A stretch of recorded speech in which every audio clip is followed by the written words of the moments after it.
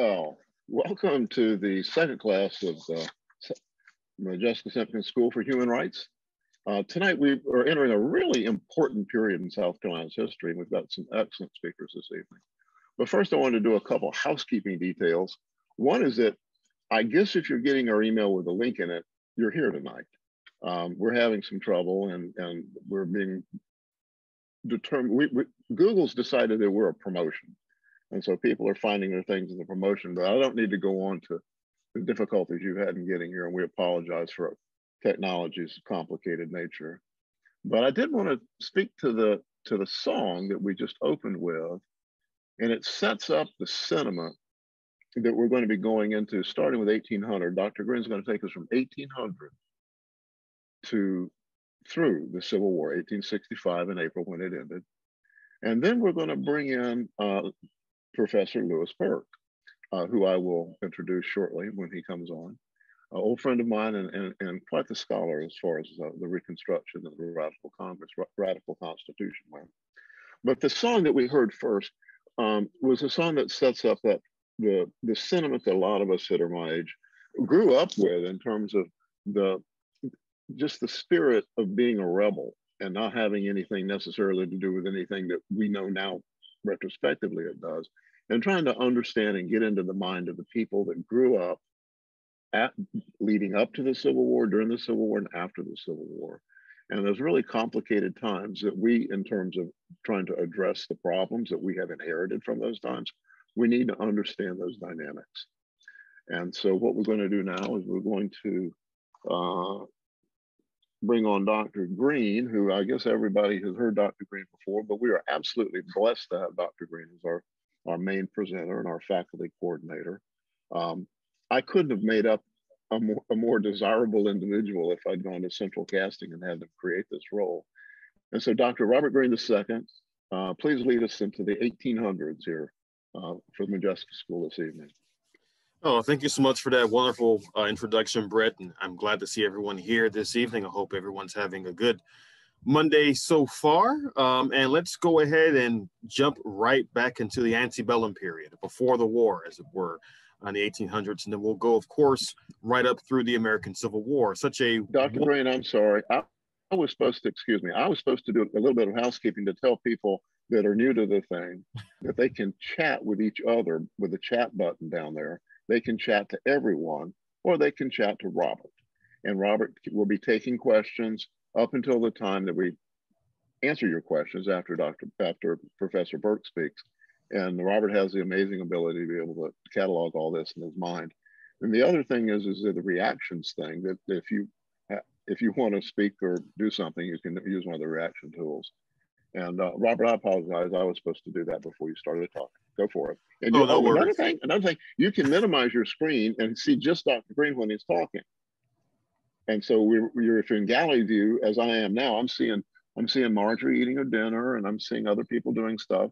But you can you can punch speaker view, and now I just see a few people and Dr. Greene, and that's much better for his presentation. Robert, I'm I'm, I'm muting myself now.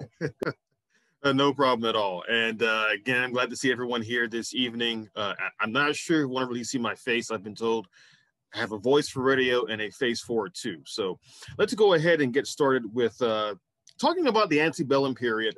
So last time we met on last Monday, I finished up by talking about the role of the Haitian Revolution on South Carolina. And that was a, a really good segue into the 1800s. Of course, the Haitian Revolution being one of the most pivotal events in the history really of the world if you think about it since the age of the enlightenment going forward. Um, but now we're going to really look at how so much is happening in south carolina uh, in the early 19th century leading of course up until the civil war. Now one thing i always tell students of mine whether it's at claflin at usc or in the Modjeska school is that you don't want to make the mistake of assuming that the american civil war was automatic, that everything that built up to the war uh, was seen in the eyes of people living in that time period as this is going to lead to civil war. With that said, there were many Americans during the 19th century who were deeply concerned about the direction the country was going in, north and south, albeit for varied reasons. One of the joys of history is understanding that people living in those time periods may not recognize what's coming up over the horizon. Uh, one of the horrors of studying history is realizing that very same thing. Uh, and so this is something that we should also take into consideration as we think about our own activism, our own work in the here and now, that you just don't know what's coming over the horizon. Now, of course, the big, big issue in American politics in the 19th century, really up until the end of the Civil War, of course, is slavery, the institution of slavery. And as we discussed last week, already with the Constitutional Convention and debates amongst abolitionists and pro-slavery forces in the, eight, in the 1780s and 1790s, there is already a sense amongst many national leaders that slavery, if it isn't an issue for the country at the beginning of the 19th century, it will certainly become one as time goes forward. Now, keep this in mind. For many slaveholders and many defenders of the institution of slavery, their biggest concern was how do we keep slavery going? how do we keep this institution running? Because after all, by 1800, it was certainly the heart of the economies of many of the southern states. There was also a fear that if slavery were not allowed a chance to expand, whether it be into the Caribbean or westward into territory owned by Spain or Mexico, then slavery would eventually die out. So you have to understand, and we'll get into this some today, that the ideology of many slaveholders and defenders of slavery is an ideology of expansion, that you need more land to keep slavery going. This is especially true once cotton becomes the central crop of many slaveholders across the South in the 1790s and going into the 19th century. The invention of the cotton gin in 1793 makes cotton a much more profitable crop. Uh, it becomes a crop that is a staple of many slaveholders across the South, but the problem with cotton is that it's very soil intensive and, of course, labor intensive. And so you need more soil, more fertile, fresh soil to keep growing cotton. Now, ironically enough, uh, with cotton as a crop, for example, uh, there was a choice slaveholders had. They could plant cotton some of the time and then plant other products like foodstuffs, etc., to replenish the soil. But that wasn't quite as profitable as just exhausting the soil uh, to grow more and more cotton. So you, you're already seeing slaveholders making critical economic decisions that are going to drive the expansion of slavery southward and westward during the course of the 19th century. And the map you see on the screen before you is actually showing the first major national crisis over slavery, which was the debate over whether or not Missouri should come into the Union as a free state or a slave state in 1819. I'll make a long story short, it is eventually brought in as a slave state uh, with the compromise reached at Maine, brought in as a free state in 1820. And more importantly, you see in the center of the screen, the Missouri Compromise line, 3630 parallel. It's drawn up by Congress, which is a line basically saying any land south of this line will be slave territory, and any land north of this line will be free territory. Um, at least that's the idea in 1819, 1820. Will that compromise last? We'll see, but I think you can probably guess, uh, probably not. Meanwhile, closer to home in South Carolina, as we've already discussed last week, the institution of slavery in South Carolina for many slaveholders always seems to be really lying on the precipice of disaster. Uh, many South Carolinian leaders are saying that slavery is important and essential to not just their economy, but their way of life. But by 1822, there were already concerns over several plots at slave uprisings. You have plots in Columbia in 1805, in Camden and Ashepoo in 1816 as well.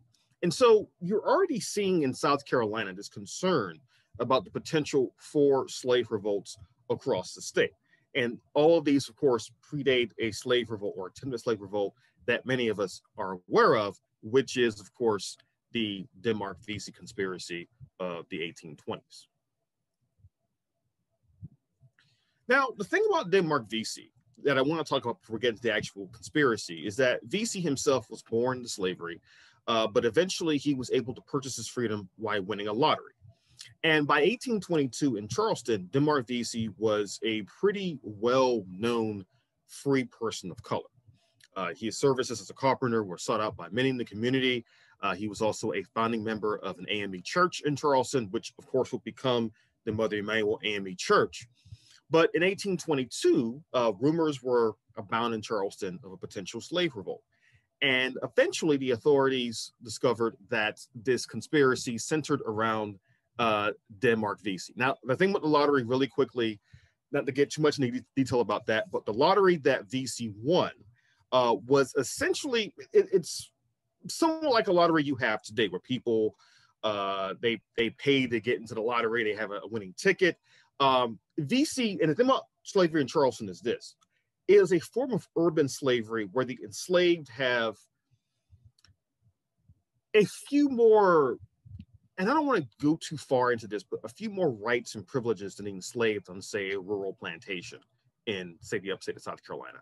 In Charleston, if you were enslaved and you were a slave working in an urban environment, you may have more contact with free people of color. You may have more interaction with the local economy. You may have a chance, as Vesey did, to make some money on the side, put enough money to, to enter a lottery, and then, as luck would have it for him, to win your freedom.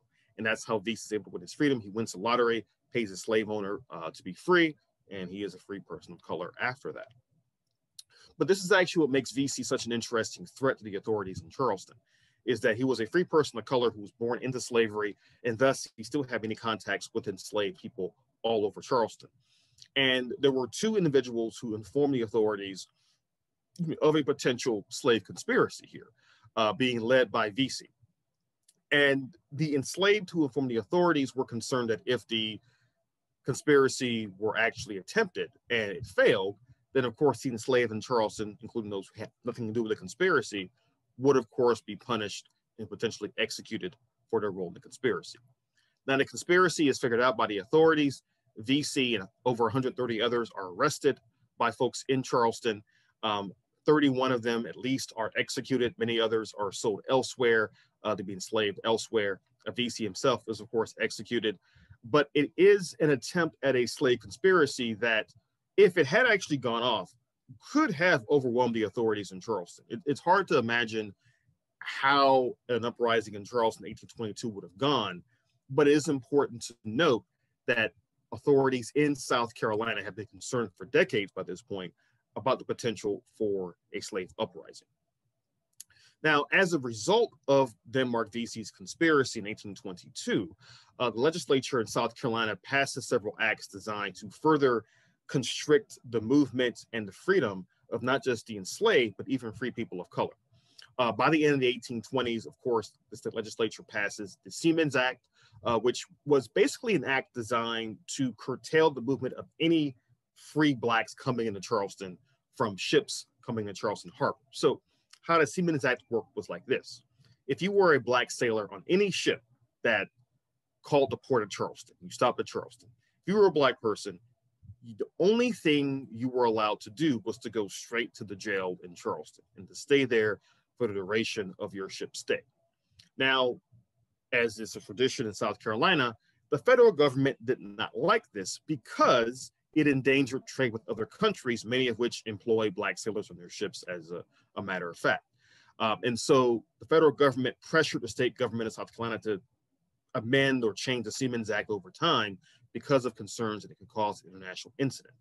Also, if you were a free black person in South Carolina by the end of the 1820s, what's happening is that the state legislature is basically asking you to find white people to vouch on your behalf that you are actually a good black person who will not foment or cause any slave revolts. So even if you're a free black person in South Carolina, your rights are severely curtailed, severely curtailed. And as was pointed out in the chat, a big reason for this is that by the 1820s, the population of South Carolina is majority black, most of whom are enslaved. And so a, a slave revolt in South Carolina could be particularly disastrous for the plantation elite.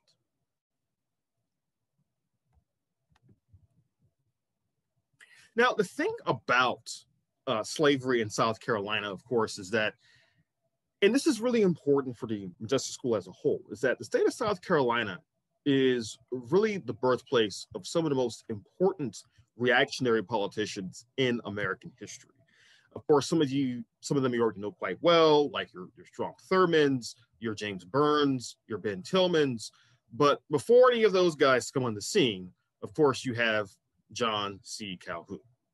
Now, the thing about Calhoun is his early career as a politician, you wouldn't assume that he's going to become the ardent states' rights advocate that he does. Early on in his career, the 18 teens and 1820s, Calhoun starts out as, as you see on the screen, an ardent nationalist, which in this context means he's actually for a strong central federal government. He's in favor of internal improvements, building up infrastructure. He's also in favor, and again, this is tied to slavery, a, a strong and aggressive foreign policy. Remember, in the 18 teens, the United States still has on its borders the Spanish in Florida, uh, the British was on the modern Midwest, and of course, various indigenous tribes throughout North America as well. All these groups are seen as really impediments to national expansion, and Calhoun is highly aggressive in pushing westward and southward expansion for the young United States. He's a congressman during the War of 1812, becomes Secretary of War for several terms, and even becomes Vice President of the United States. Uh, first under John Quincy Adams, who, if not read about Adams and you are really interested in abolitionism and reading about genuine American heroes, you should read about John Quincy Adams, and then becomes vice president to Andrew Jackson shortly after that. Now, the thing about Calhoun, and this is an issue that many South Carolina politicians face, is that to be a politician from South Carolina, you can either seek national fame and become a national figure, but risk losing your support at home in South Carolina. Or on the flip side, you can become a beloved figure in South Carolina, a major leader in South Carolina, but at the same time, lose the ability to be a true national leader, a true contender, say, for the presidency or some other high office. This is what I would call the Palmetto Faustian bargain. You can either be famous nationally and lose support at home, or be famous at home and have strong support in South Carolina, but not really become a national figure who can rise beyond the borders of South Carolina. Calhoun initially is able to thread the needle between satisfying his constituents in South Carolina and being a national political player, but by 1832, this position will no longer be tenable. And this is because in the 1820s and early 1830s, more and more South Carolinians, and really Southerners in general, are beginning to come around to the idea of what's called the nullification theory, which is, I think, something some of you have heard about before in contemporary political and social discourse. Like everything else, it has a history. Essentially, the nullification theory says that a state can actually override whatever law a federal the federal government passes. It's a a certain viewpoint of the Constitution of the United States which gives a bit more power to the states than the Constitution actually outright states. But Southerners like Calhoun increasingly favored nullification theory. Publicly, they were saying it was because of things like the tariffs of 1824 and 1828. Now, really quickly, mention the tariffs for two seconds. I know this is not the sexiest topic in the world, but one reason why Southerners were so anti tariff is that they prefer purchasing tools and products for their enslaved to use in their plantations from the cheapest source possible. Whereas Northern politicians are much more concerned with protective tariffs designed to protect Northern industry from foreign competition. So, as you can see, even things like tariffs are tied back to the institution of slavery. And in fact, Calhoun himself admitted that by 1832, when South Carolina is first threatening to leave the Union over the question of the tariff of 1828, Calhoun admits publicly that, quote, that this is, quote, the occasion rather than the real cause of the present unhappy state of things. Now, what does that mean? What Calhoun's really saying, and what most Southerners were saying when they were supporting the nullification theory, is that their concern is not about the tariff. Their concern is if the federal government has the power to do this, then what's to say down the road that they can't have the power to abolish slavery or at least severely curtail its growth? Really, for Calhoun and many other leaders in South Carolina and across the South, their biggest concern is making sure that over time the federal government does not gain enough power to destroy slavery. I want to go back a few slides just to quickly explain why they're thinking this already. If you look at this map very quickly, once again, And you look at the fact that in 1820, the Missouri Compromise line is only giving Southerners territory in what's Arkansas and soon to be Oklahoma. And you look north of that, Southerners are already thinking, well, wait a minute. If we stop expansion westward at where we are at the moment in 1820, then we risk having more in the long run, more free states than slave states in Congress. And this will be especially important in the US Senate. So, really, there is always this concern during the 19th century among Southerners that in the long run, thanks to demographics, thanks to the changing shape of the country, thanks to this Missouri Compromise, that in the long run, the South is going to lose out on the ability to not only expand slavery, but to even defend where it already exists in the Southern states. Now, what's really important about the nullification crisis of 1832 is that South Carolina is really on its own. The rest of the South does not agree to support the nullification idea, mainly because they really want to wait and see how Andrew Jackson and future federal administrations deal with the question of slavery. And so South Carolina uh, threatens to, to not uh, really enforce the tariff. Andrew Jackson, being the president that he is, uh, says, well, if you want to enforce a tariff, I'll send troops into South Carolina who will. South Carolina, not being led by idiots, decides to step down. But in the aftermath of the nullification crisis, the state legislature does pass a resolution saying, we still think we in South Carolina have the right to nullify federal law, no matter what President Jackson or anyone else says. And again, this conflict between Calhoun and Jackson, I know what a lot of people are probably thinking this is like the Freddy Krueger versus Jason Voorhees of American history here. Uh, and you're kind of right in a lot of ways. But nonetheless, it does show that South Carolina only has so much power in the national level that other Southern states at this moment are not ready to go behind them and support whatever they want to do. And in fact, Calhoun has to step down from the vice presidency in 1832, and he returns to South Carolina and becomes resumes being a senator from the state uh, during the nullification crisis. And so Calhoun sacrifices the vice presidency to resume representing South Carolina. For the rest of his life, until he passes away in 1850, he is going to be a stalwart South Carolinian in the Senate and a stalwart champion of states' rights. And many of our ideas of states' rights nullification come from John C. Calhoun. In fact, there's a new biography of Calhoun that just came out. I can't remember the author's name right now, but if you look it up online, you can find it pretty quickly. Um, it's it's a big brick of a book, but it's also it looks really interesting. I've heard some great reviews of it. Uh, certainly, John C. Calhoun's one of those individuals that it's hard to think of American history without thinking of him. Now, I do also want to very quickly talk about the ideas behind slavery because as important as it is to understand how folks like Calhoun are defending slavery on a national level, it's also important to understand how individuals like James Henry Hammond, who was a politician from South Carolina in the 1830s and 40s as well, are also justifying the institution of slavery. Now, let's take a step back to the 18th century for a moment, during the Revolutionary era.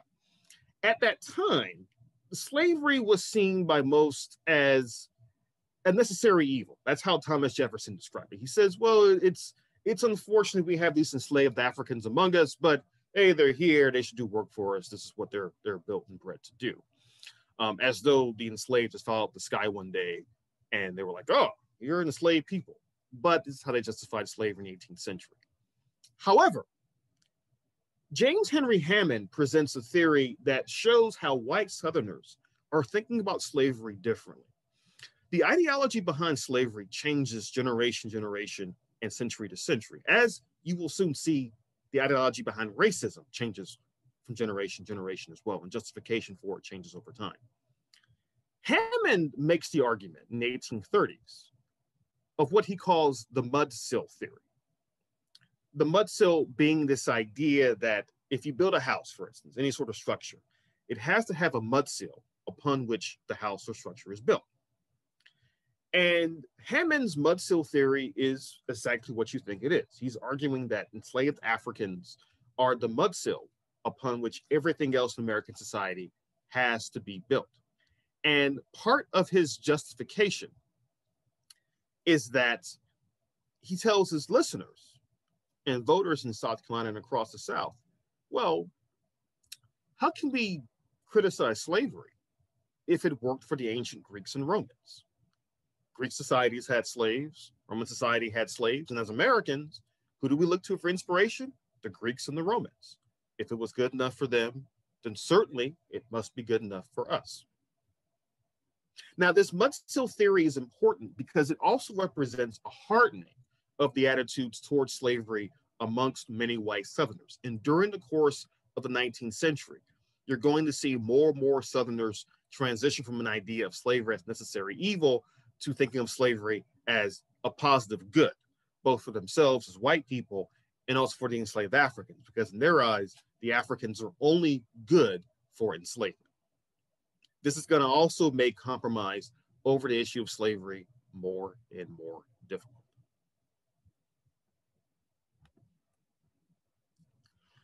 Now, within South Carolina, of course, it was very difficult to stand up against slavery. Of course, the enslaved themselves are the most ardent critics of slavery, wanting to be free. And as you may have seen in one of your readings for this afternoon's class, um, you also have maroons, uh, slaves who are fleeing into various parts of South Carolina, most notably into the Congaree or the Low Country, other parts of the state that are very difficult to traverse and navigate. These maroons are often living off the land and really becoming seen by many white South Carolinians as the scourge of the state because the government is having a really hard time finding them. And in fact, the state government in South Carolina's main priority from 1800 until 1865 is to make sure that slavery as an institution is A, kept intact, that any, and B, any threat to slavery, whether it be abolitionists, maroons, slave uh, conspiracies, etc., that any of these threats are neutralized as quickly and as effectively as possible. Of course, folks like the Grimke sisters, Sarah and Angelina Grimke, they represent what many South Carolinians also fear, which is white resistance to slavery in the form of the abolitionist movement. Now, the Grimke sisters, of course, came from a slaveholding family, but they themselves could not countenance or justify or really tolerate the institution of slavery. Now, the thing about the Grimke sisters that you have to remember is that not only are the sisters opposed to slavery, but once they actually get involved in the abolitionist movement, again, they have to move to Philadelphia to really get involved in it. In the abolitionist movement, they find out that as women, they are also not terribly welcome to speak up against the institution of slavery. And so the Grimke sisters actually represent something that becomes a recurring theme in the history of radicalism and activism in American life, which is if you are a person who is from an oppressed group, whether you're a person of color, a woman, the LGBT community, etc., you may face pushback within activist movements that you're involved in. And certainly women in the 19th century who were becoming involved in the abolitionist movement are also facing pushback uh, simply for being women and speaking out against these issues. And this is going to become one of the catalyzing factors in the women's rights movement of the 19th century, ultimately leading to the Seneca Falls Convention in 1848. Yeah, I mean, they certainly were amazing. And again, I think they're an example of how we have to be careful when we say things like, oh, you know, you can't apply the thinking of today on the past. Um, because I think there's an assumption that everyone in the past thought the exact same way. And that couldn't be further from the truth.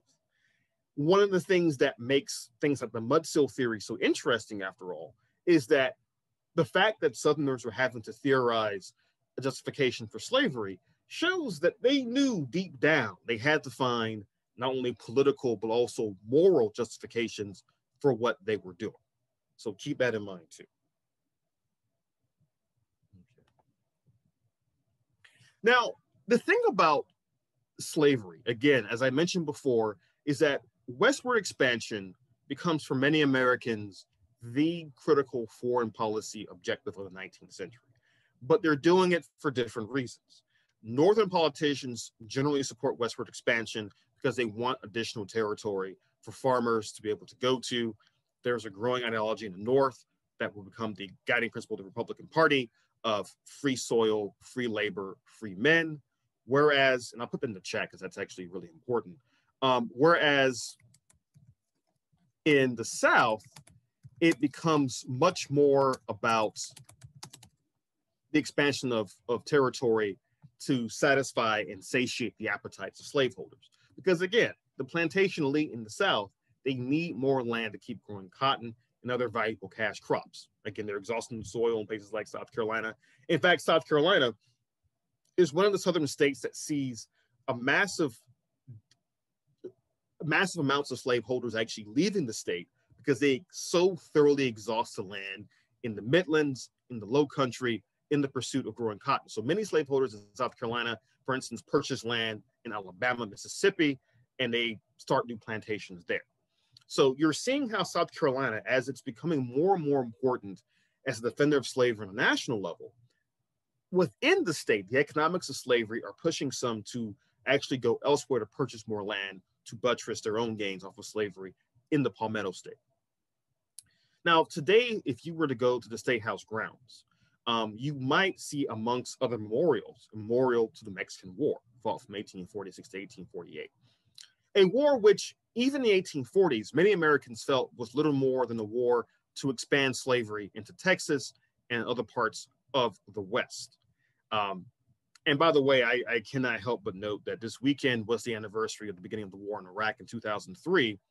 Um, and how that conflict was also one started over, well, shall we say, questionable pretenses.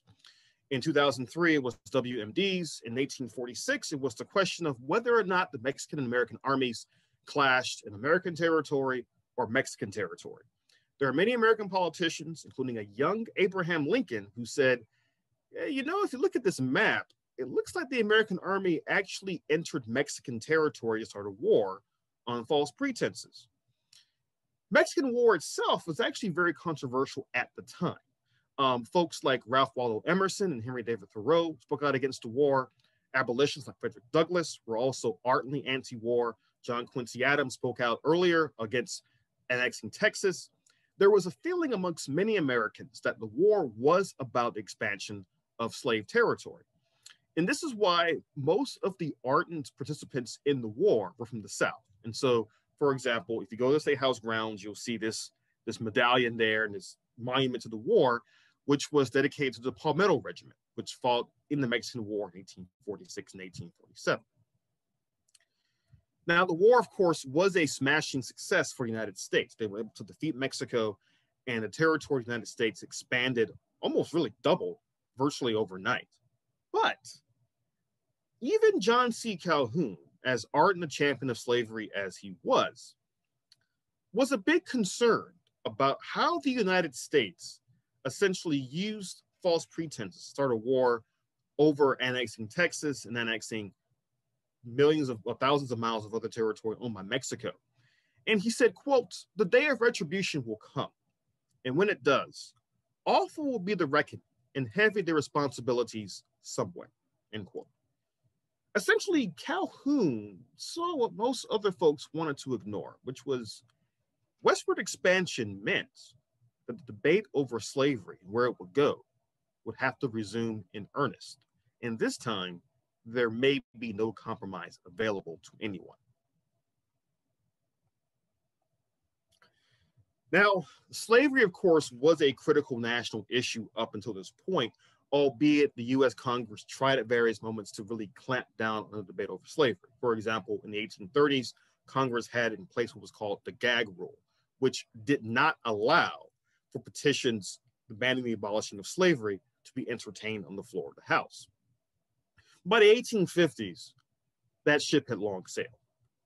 With the Compromise of 1850 and the Kansas Nebraska Act of 1854, the US Congress was struggling to admit these new gained territories from Mexico into the United States, first as territories and then as states. For example, the Compromise of 1850 uh, allowed California to become the state as a, as a free state, but also left the issue of other territories up to the future. In the Kansas-Nebraska Act, of course, Congress basically says, you know what, we're going to stop trying to draw lines in the sand. And instead, we'll use an idea called popular sovereignty, which will allow peoples to move to different territories in the West, and they'll vote on whether or not they'll become a free state or a slave state. Thinking was you can't get more democratic than that. But in places like Kansas, that turns into a complete and utter disaster. When you announce that people can vote on whether or not a territory can be a free or slave territory based on people vote, then you shouldn't be surprised when folks north and south move to Kansas to decide whether or not it'll be slave or free. And Kansas goes from being a political flashpoint to being an actual guerrilla war, where abolitionists and pro slavery advocates alike are murdering each other left and right. Most notably, John Brown comes to fame because of his uh, killing of five pro slavery advocates in Kansas. But this violence, of course, is not limited to Kansas. Um, all across the country, you actually have mobs chasing after abolitionists. Uh, even folks like Frederick Douglass and William Lloyd Garrison are attacked by mobs in the 1840s and 1850s, giving anti slavery speeches. And there is even violence in Congress, which is something that up until this January would have seemed pretty comical and hard to believe, but we've actually seen with our own eyes what that can look like, unfortunately. Now, in this case, in 1856, uh, there is a speech given by Charles Sumner, the senator from Massachusetts, who gives a speech not only destroying the institution of slavery, but calling out South Carolina in particular for its art in the defense of slavery. In the gallery is Preston Brooks, who is a cousin of the South Carolina senator whom uh, Sumner has attacked and has essentially um, offended. Later on, of course, as Sumner is sitting at his desk writing his next speech, Preston Brooks approaches Sumner and attacks him with a cane. As you can see here in this um, Northern political cartoon that's titled Southern Chivalry Arguments versus Clubs.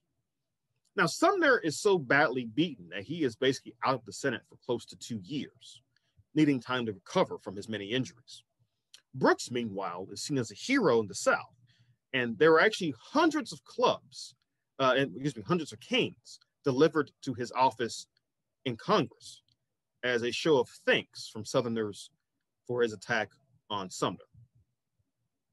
Again, things are getting worse and worse in the country in the 1850s.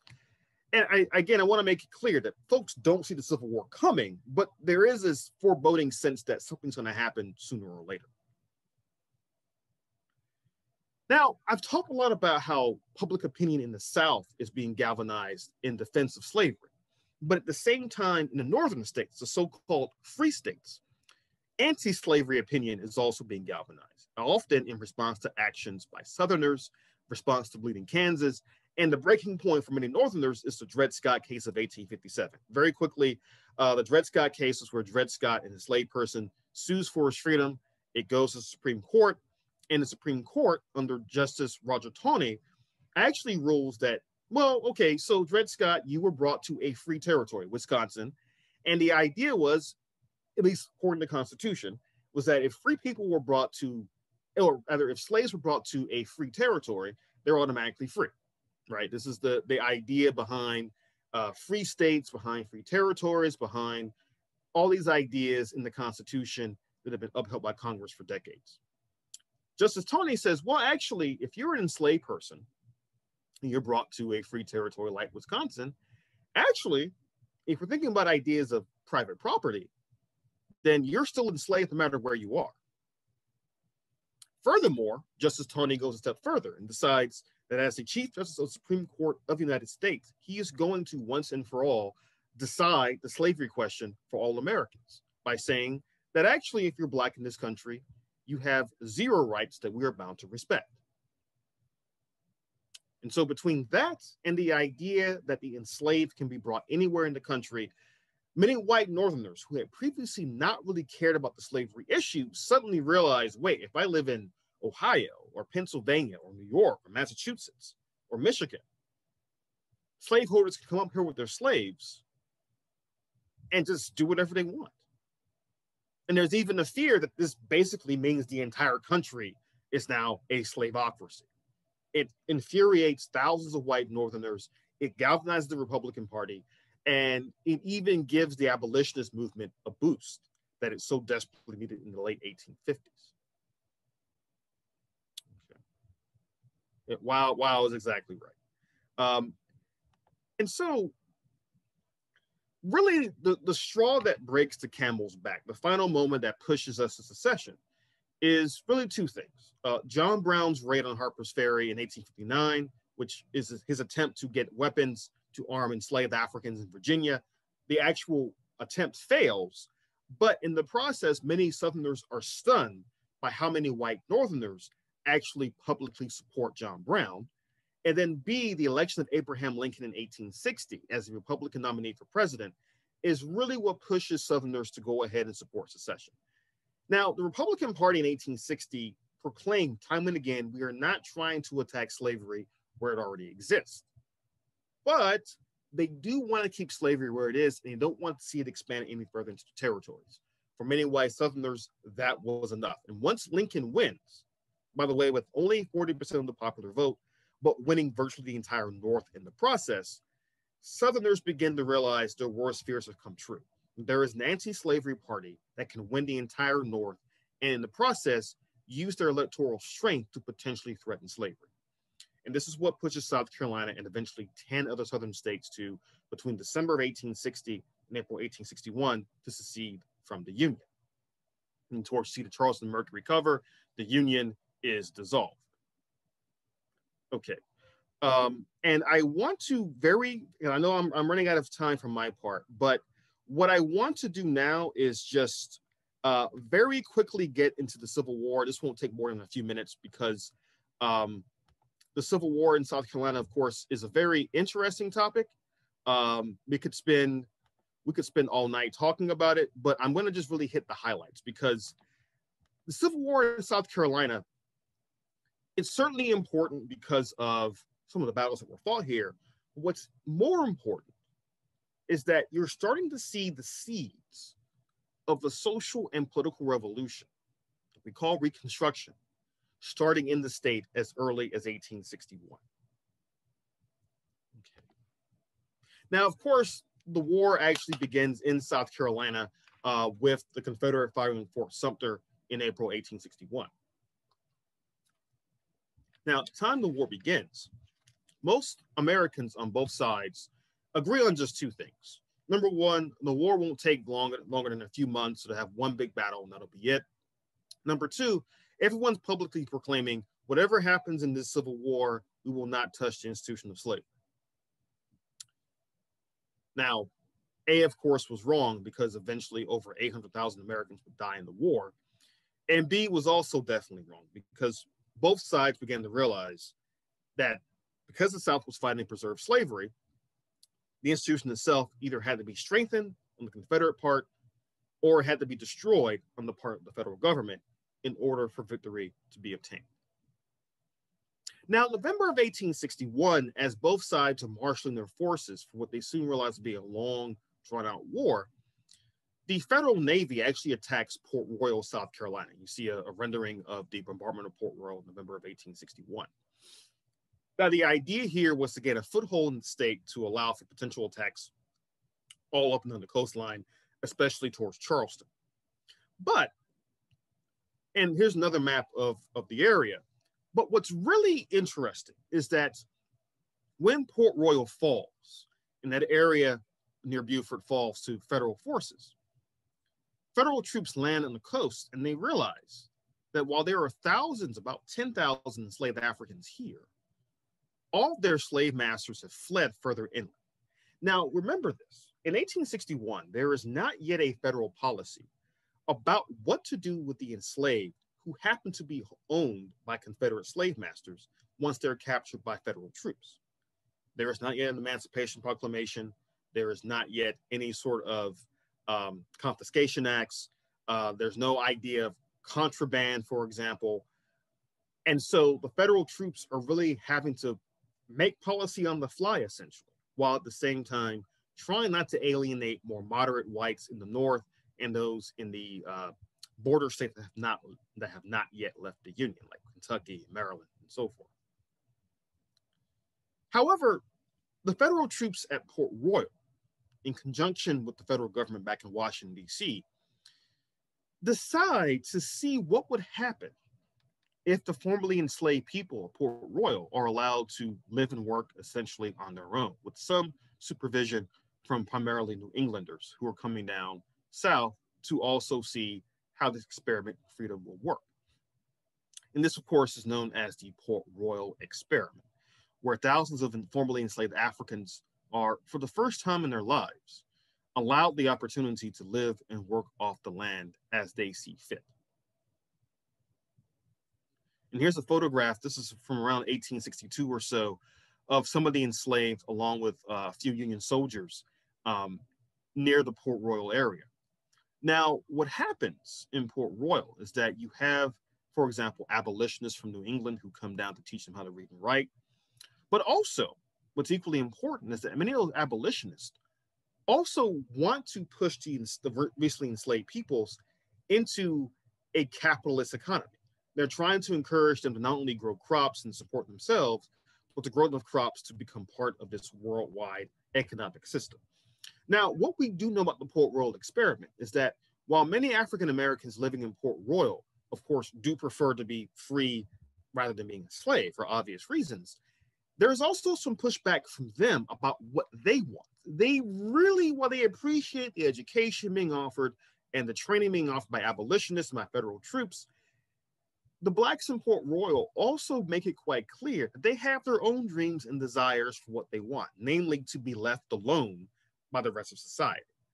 This is something that the abolitionists are surprised by, and you're already seeing some friction between Black Americans living in Port Royal and the abolitionists who've come down to help them. And I think for those of us in the group who are interested in activism, this is an especially important lesson. Even if you're going to help another group of people who you see as being oppressed, you want to offer your allyship, your assistance, make sure you're actually listening to what they want first before you plant your own ideas or own ideology onto what you believe they will want to. So keep that in mind. Okay. Now, and again, so many of these topics are such rich topics that could be lectures on their own. Uh, again, if you've not read the material on the Justice School website, I would recommend doing so as soon as you can because there's a lot more about some of these topics on there um, as well.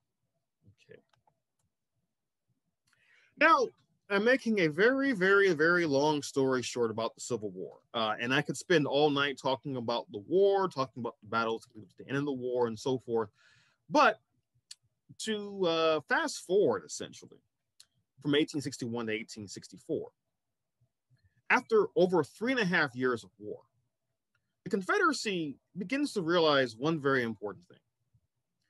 If your entire way of life is based upon slavery, based upon selling cotton, it's a little difficult to fight a war against an industrialized power to your north, namely the federal government. It's also hard to fight said war if you're struggling to feed yourself, to clothe yourself, to arm yourself with weapons, but most important, the Confederacy also realizes that not every white Southerner supports the war effort either. In fact, over 100,000 white Southerners fight for the federal side in the Civil War. At the same time, the concern about a major enemy in their midst, namely the enslaved themselves, also forces Confederate leaders to keep thousands of troops in the rear to be used, to be used potentially against possible slave revolts. Now, by 1864, after a series of defeats at Antietam, Gettysburg, and elsewhere, and after Sherman's March to the Sea in the fall of 1864, the end looks quite near for the Confederacy and in particularly South Carolina. Now, up until the end of 1864, there wasn't really much fighting in the state of South Carolina beyond, of course, the Port Royal experiment, the assault on Battery Wagner in 1863, which was immortalized in the film Glory, and the like. Um, most of the fighting had been in low country in that area near Charleston. But what you're beginning to see by 1864 is that the Union Army under General William T. Sherman is massing in Savannah, and their next target is South Carolina itself. Now, keep in mind, many federal troops relished the opportunity to take the fight to South Carolina because to many of them, they saw South Carolina as being the state that started this whole damn war in the first place with their secession in 1860. And so, make a long story short, the federal troops are a bit eager to enter the Palmetto State and to make Columbia, shall we say, famously hot.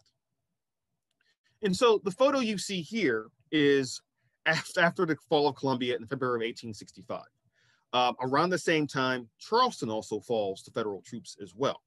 Now, South Carolina's collapse is rapid because, again, most of the, the forces that will defend the state are actually fighting in Northern Virginia. They're, they're going to surrender Appomattox in April of 1865. Um, but what happens is that the state government has a hard time marshaling forces. They get about 20,000 troops to face off against Sherman, Sherman 60,000.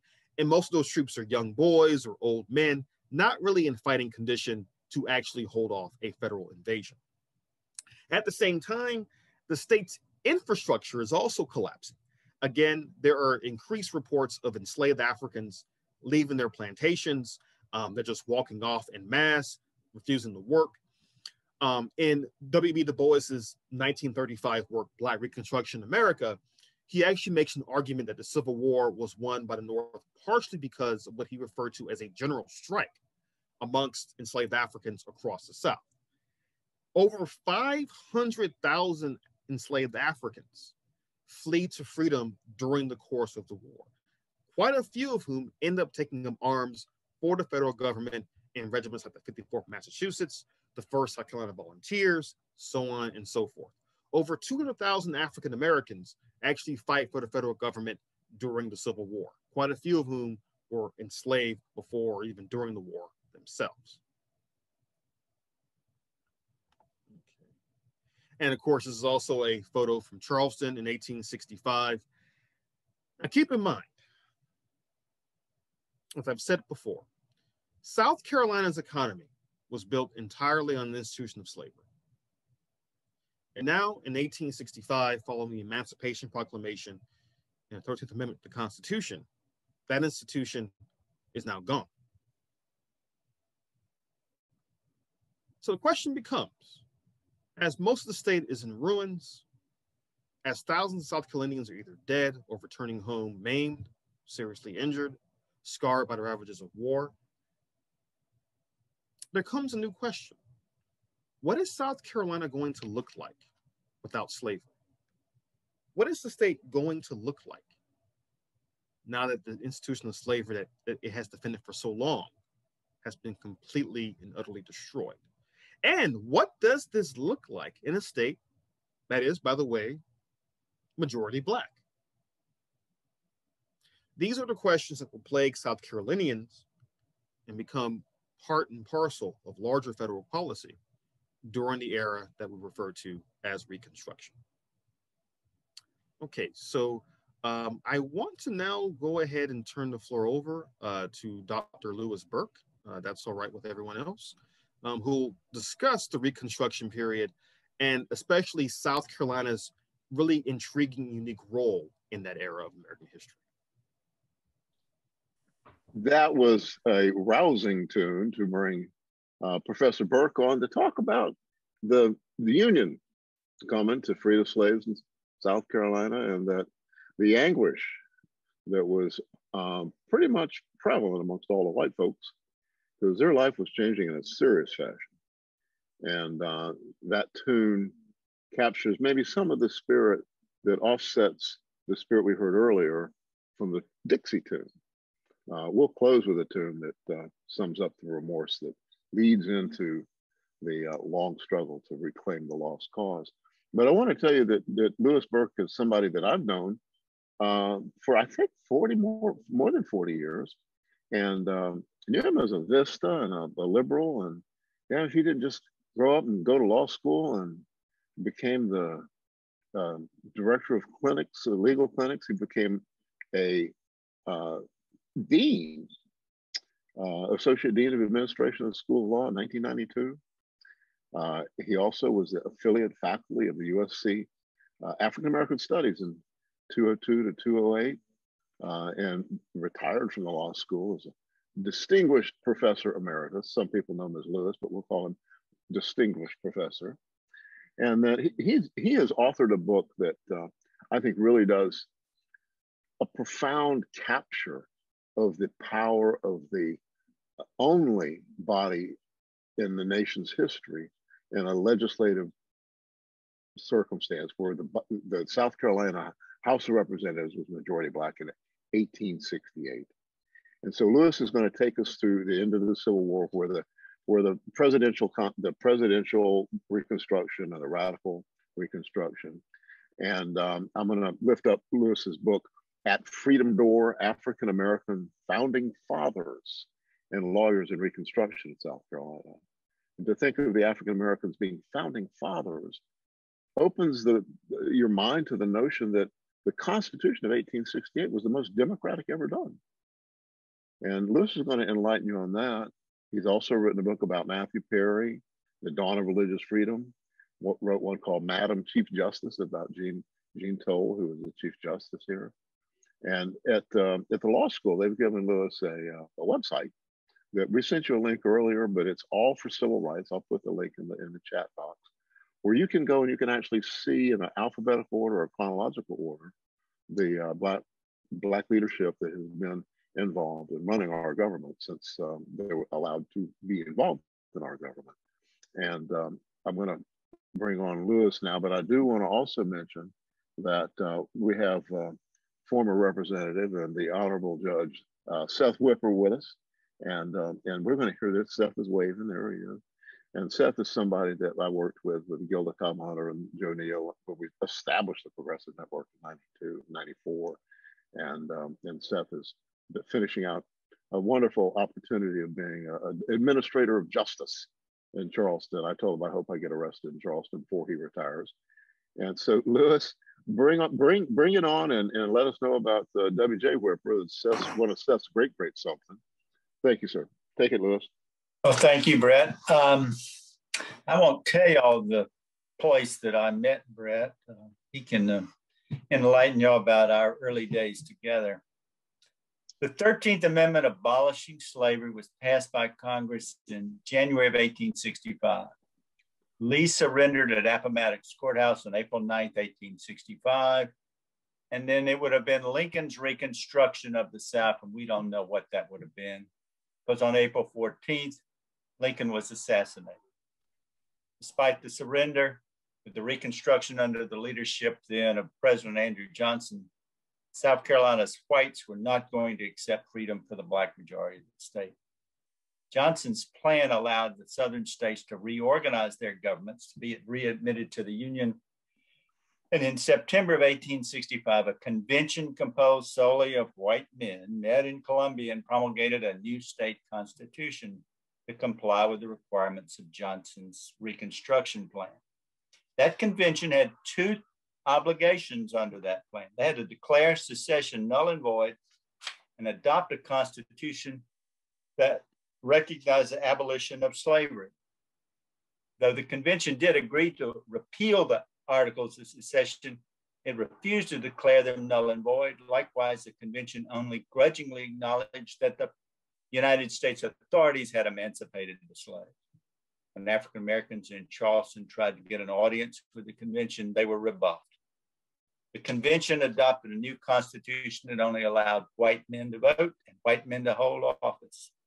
The all white convention authorized the governor to appoint two commissioners to draft a black code to regulate the colored population of the state. In November of 1865, the Colored People's Convention was held in Charleston. This was a South Carolina group to voice opposition to this new constitution. They requested that the federal government uh,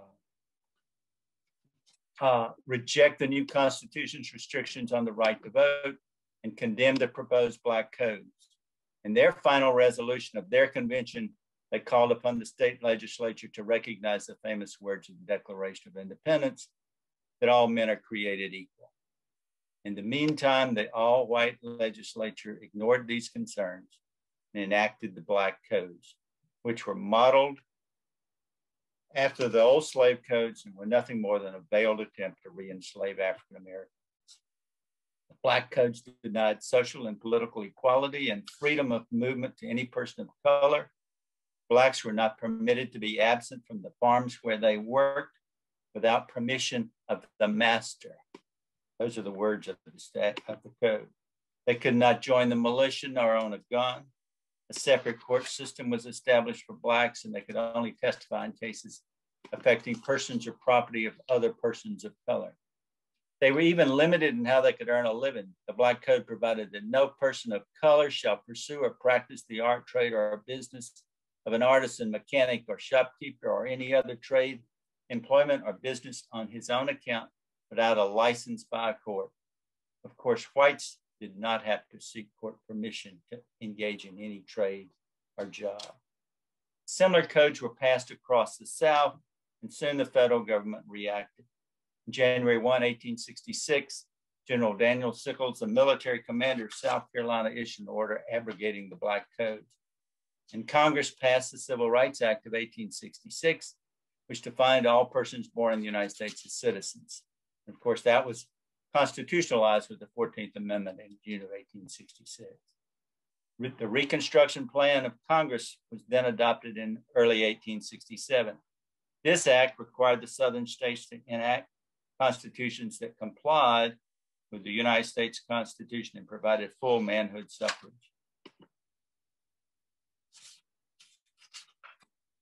Under the Reconstruction Act, an absolute majority of all registered voters had to cast an affirmative vote in favor of calling a constitutional convention.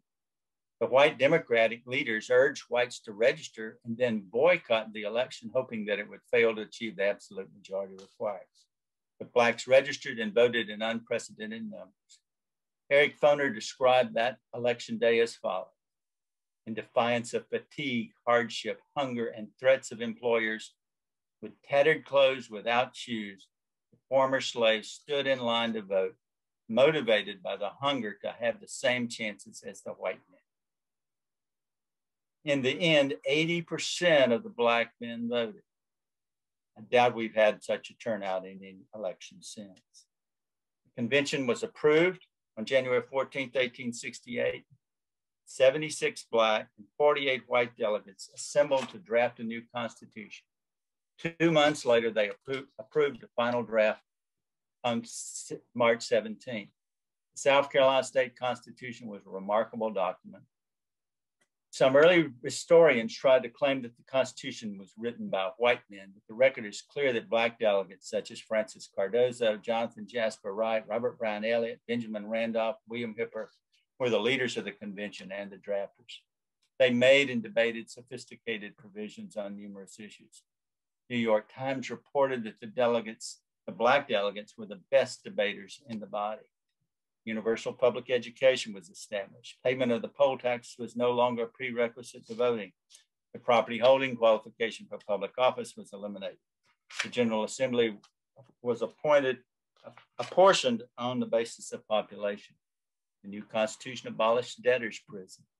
And because Andrew Jackson had killed 40 acres and a mule, they established a land commission to help distribute land to the former slaves in South Carolina.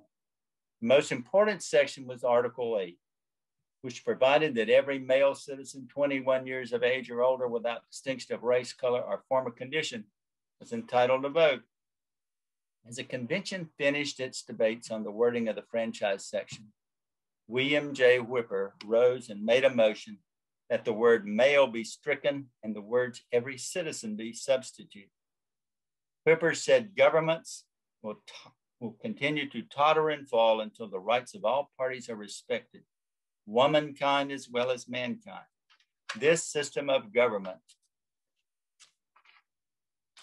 never will be permanent until women are recognized as the equal of men. Whipper was quite serious and may have been influenced, or he was influenced by Frances Rollin, who became his wife later.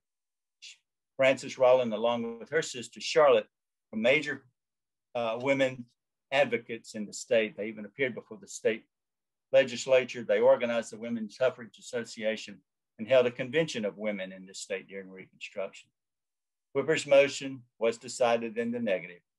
However, the convention did pass another important advance in women's rights by allowing married women to hold property in their own name. Previously, a married woman's property became her husband's upon marriage. Convention had produced a document intended to protect civil rights, making it the most egalitarian legal instrument in the state's history. This set the stage for the real revolution that followed. For the first time in South Carolina history, the Constitution was put before the voters for approval. and elections were held on the same, the same day for state and local offices. The Constitution was approved, and Black men were elected to dozens of positions. Before the Civil War, few Northern states allowed Blacks to vote. Historian Eric Foner has found that only two Black men held any public office in the United States before the Civil War. Macon B. Allen, America's probably second Black lawyer and first Black judge, served as the Justice of the Peace in Maine. Allen would, in fact, move to South Carolina after the war and practice law and serve as a judge. Foner also estimates that there were 2,000 Blacks who held public office in the South during Reconstruction. He's documented the careers of 315 in South Carolina, more than any other state. He found that 88 of these men had been born free, 131 had been born slave. So he presumed that most of them had been born into slavery. The election of 1868. In the election of 1868, a white Republican was elected governor, Robert K. Scott, who had been head of the Freedmen's Bureau. White Republicans won all other statewide offices except Secretary of State. Francis L. Cardozo, who I mentioned earlier, was elected Secretary of State, becoming the first African American elected to any statewide office in the nation's history. Admittedly, uh, someone was elected to a similar office in Louisiana the next day. Republicans won a majority in, in the House and Senate. In the House, 109 of 124 members were Republicans, 75 were Black. In the Senate, 25 of 32 were Republicans and 10 were Black. During Reconstruction, le- the legislature was led by Black men. Alonzo Ransier and R.H. Cleave served as lieutenant governor and presided over the Senate. Samuel J. Lee from Aiken served six years as Speaker of the House. Stephen Swails from Williamsburg County served as President pro tem for six years. Robert Brown Elliott served as Speaker of the House for two years. Service in the legislature was not without peril. During the campaign of 1868, at least four Black politicians were murdered, including two members of the legislature. They were James Martin of Abbeville and Senator Benjamin Randolph from Orangeburg. In the, in the legislature, a resolution memorializing their lives was introduced. Rising to speak on its behalf was William J. Whipper, who said, who made his mark as a radical that day, really he rose.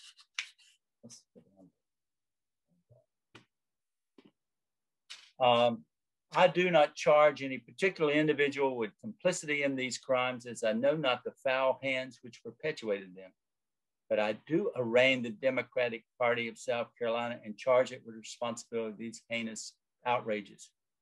Whipper then pointed at the white Democrats and said, You are the cause. A legislative committee investigated these murders, and as a result, the state created a militia to try to protect against KK Ku Klux Klan violence in the state.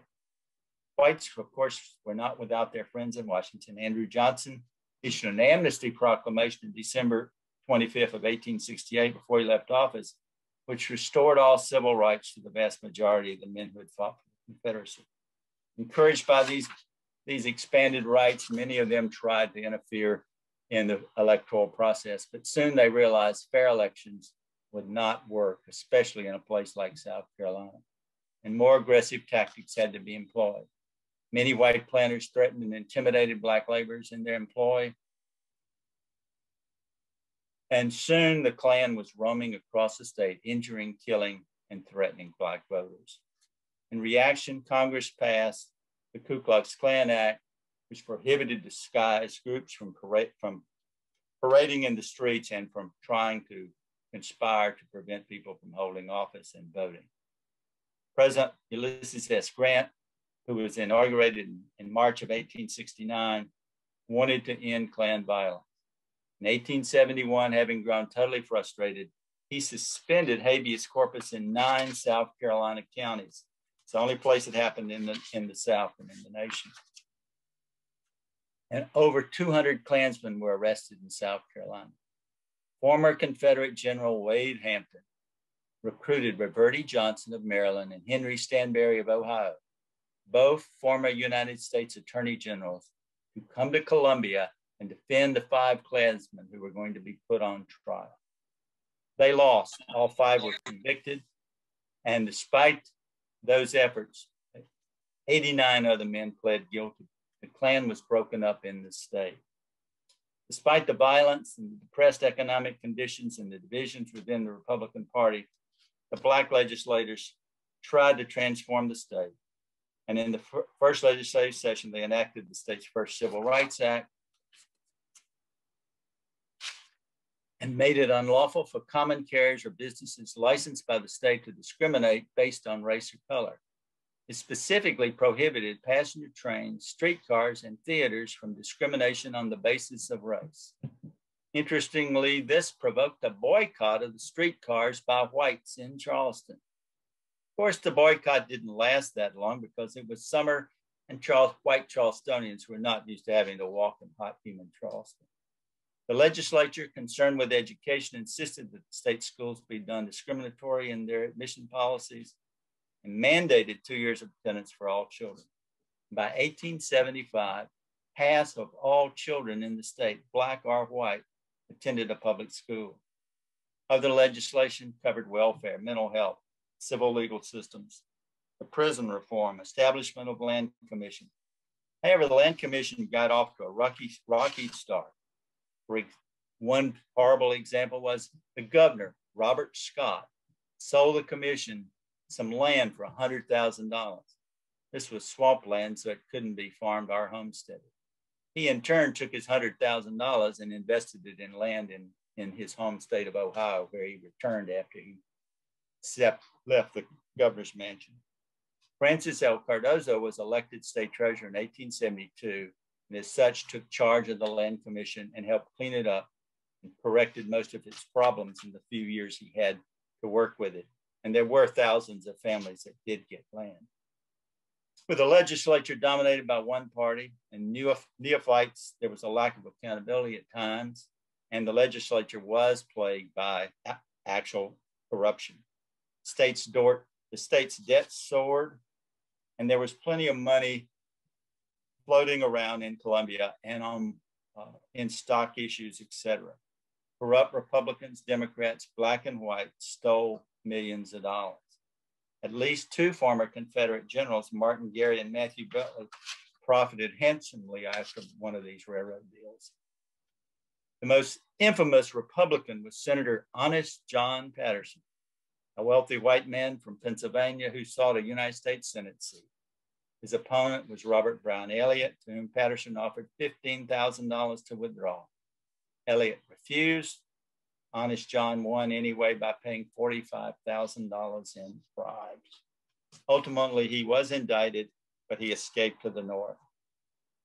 Not only was the political landscape transformed, the new state court system established by the Constitution of, of 1868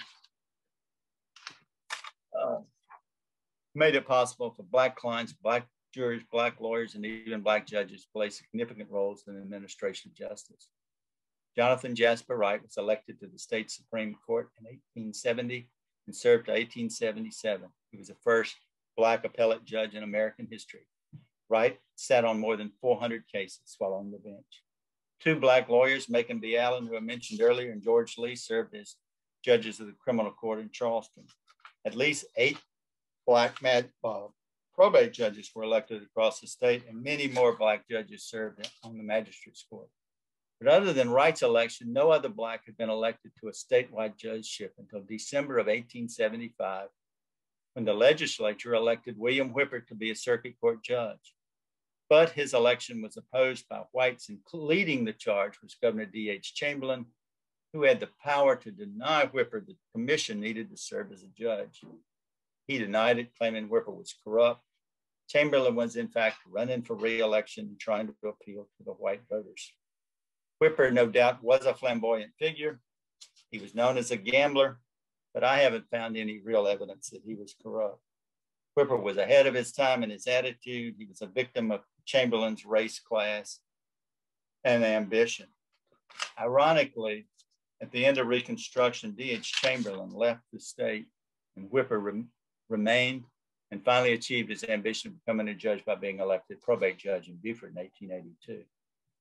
During Reconstruction, South Carolina sent six Black men to Congress. Uh, J.H. Rainey was the first African American to ever serve in the United States Congress. Also, Robert Brown Elliott, Robert DeLarge, R.H. Cain, Alonzo Ransier, and Robert Smalls served in Congress.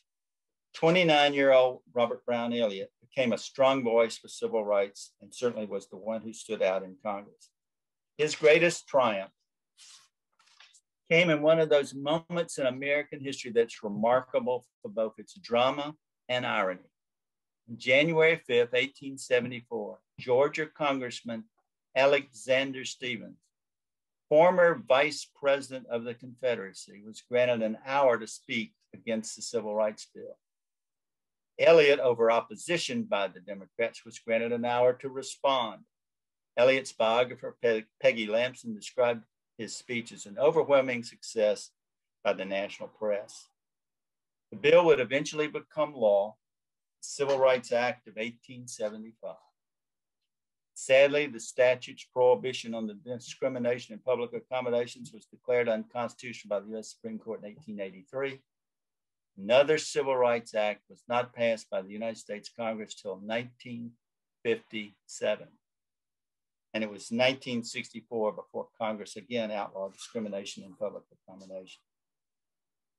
Outside the legislature, legislators, Black lawyers, and Black leaders, Black lawyers, teachers played important roles in trying to build a more just state. At least 49 Black men were admitted to the state's bar.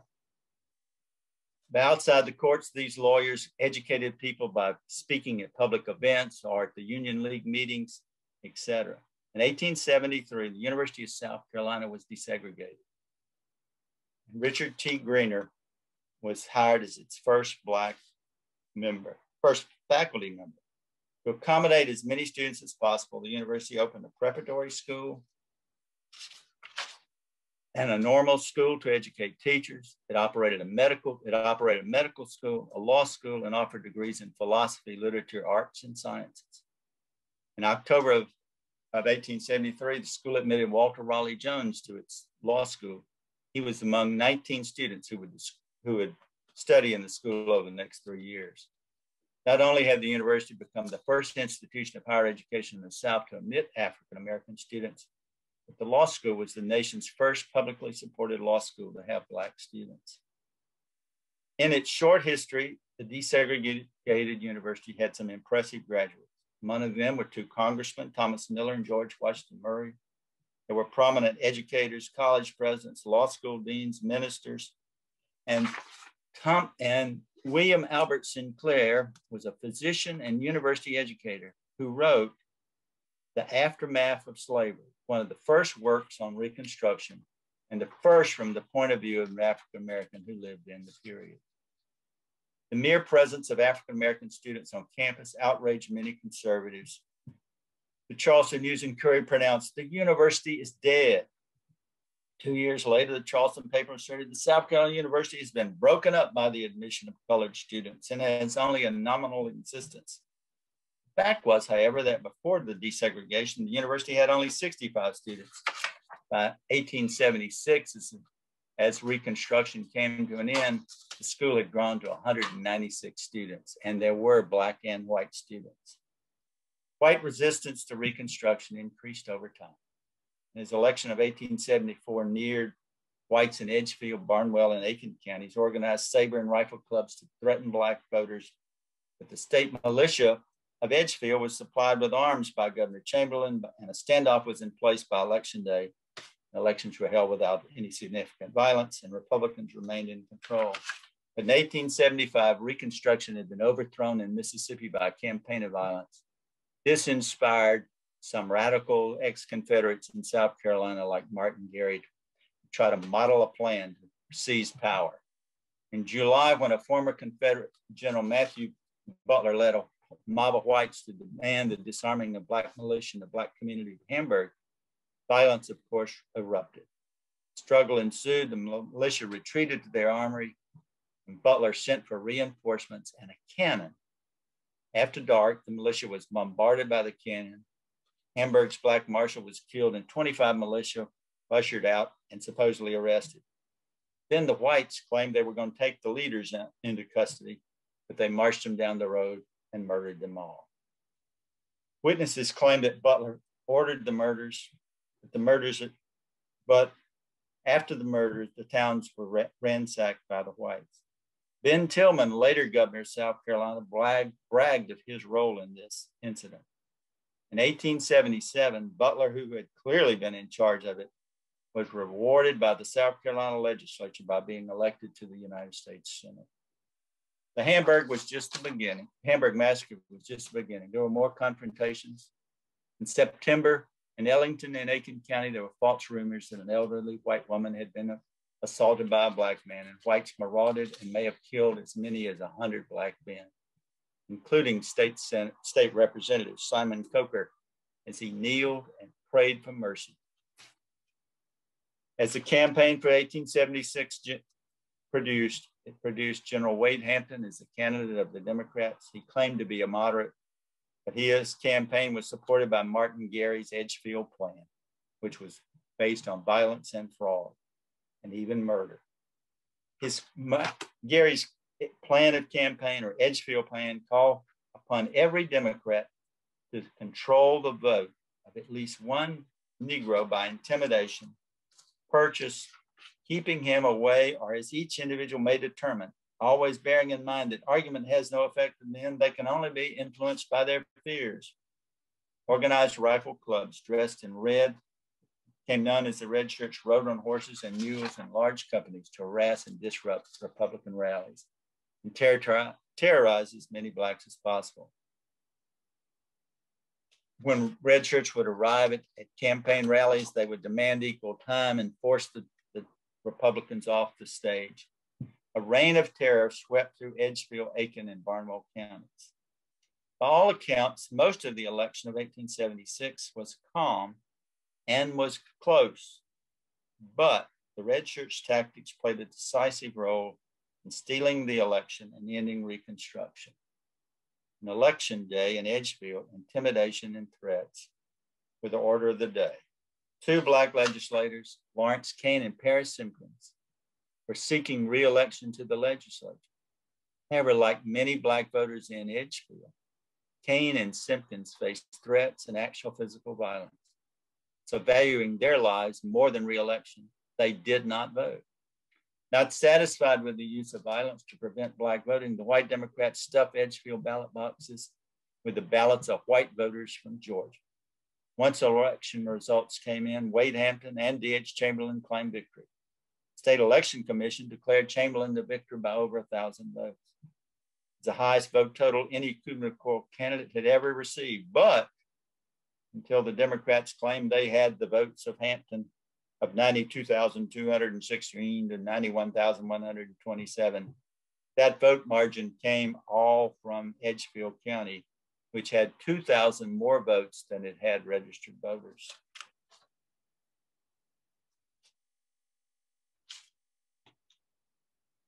On the national level, as the Republican Party had grown more conservative, as such radicals as Charles Sumner and Thaddeus Stevens had died, the party became more interested in the interests of corporations such as railroads, and the interests of people, working people, white and black, was pushed aside.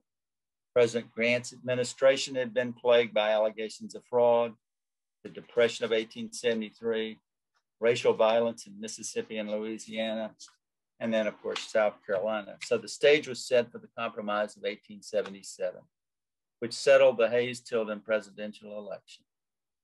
Rutherford Republican Rutherford B. Hayes was awarded the electoral votes of South Carolina, Louisiana, and Florida in exchange for a withdrawal of all the federal troops from the southern states. When federal troops were withdrawn in April of 1877, D.H. Chamberlain gave up the governorship and left the state. Black officials knew that what protection they had had was gone.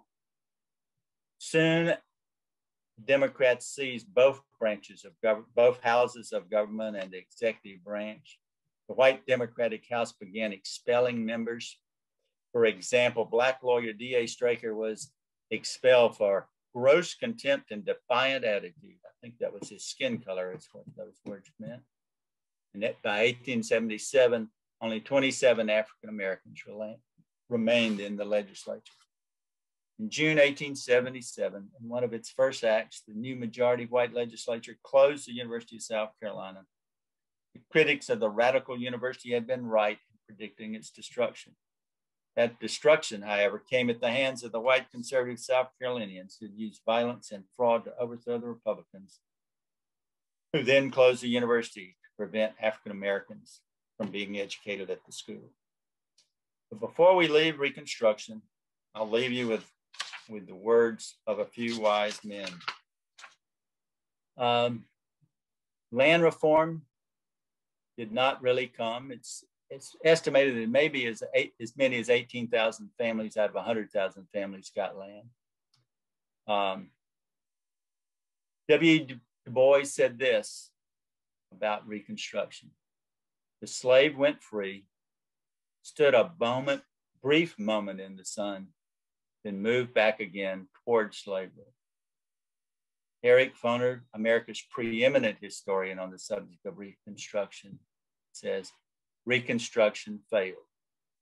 For its black, for blacks, its failure was a disaster whose magnitude cannot be obscured by the genuine accomplishments that did endure.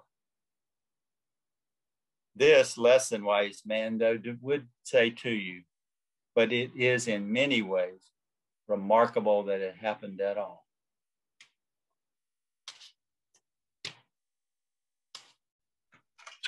Thank you, Dean Burke.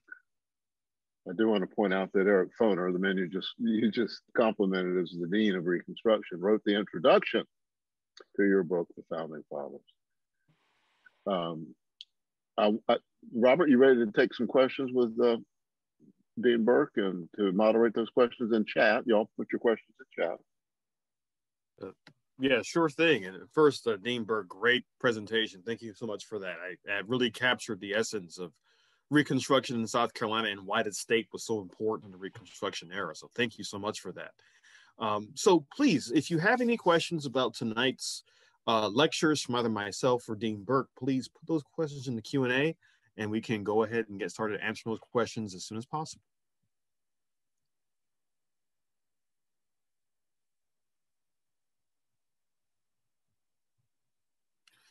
And by the way, I, I, do want to also point out too that I'm, I'm glad Dean Burke mentioned uh, the Land Commission. Uh, I actually had the privilege of working about three or four years ago with Congaree National Park, uh, and they're doing a historic resource survey, and they're really in the near future hoping to say more about the Land Commission's role in Lower Richland in particular, because there are some families there, Lower Richland, that still own land their ancestors purchased via the Land Commission in the 1870s.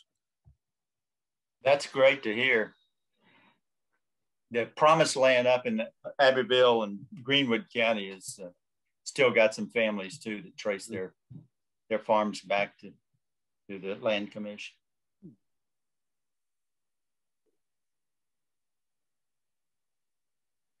Well, while we're waiting for those questions to roll in, if either one of you want to address the uh, the the um, uh, martial law that was implemented in the upstate counties, which counties were those? And there were trials I think there was. Oh, give me a second. I'll get, I'll read you off the list. Spartanburg, Union, and there's something about the upstate that is deeply embedded in their DNA that we need to know.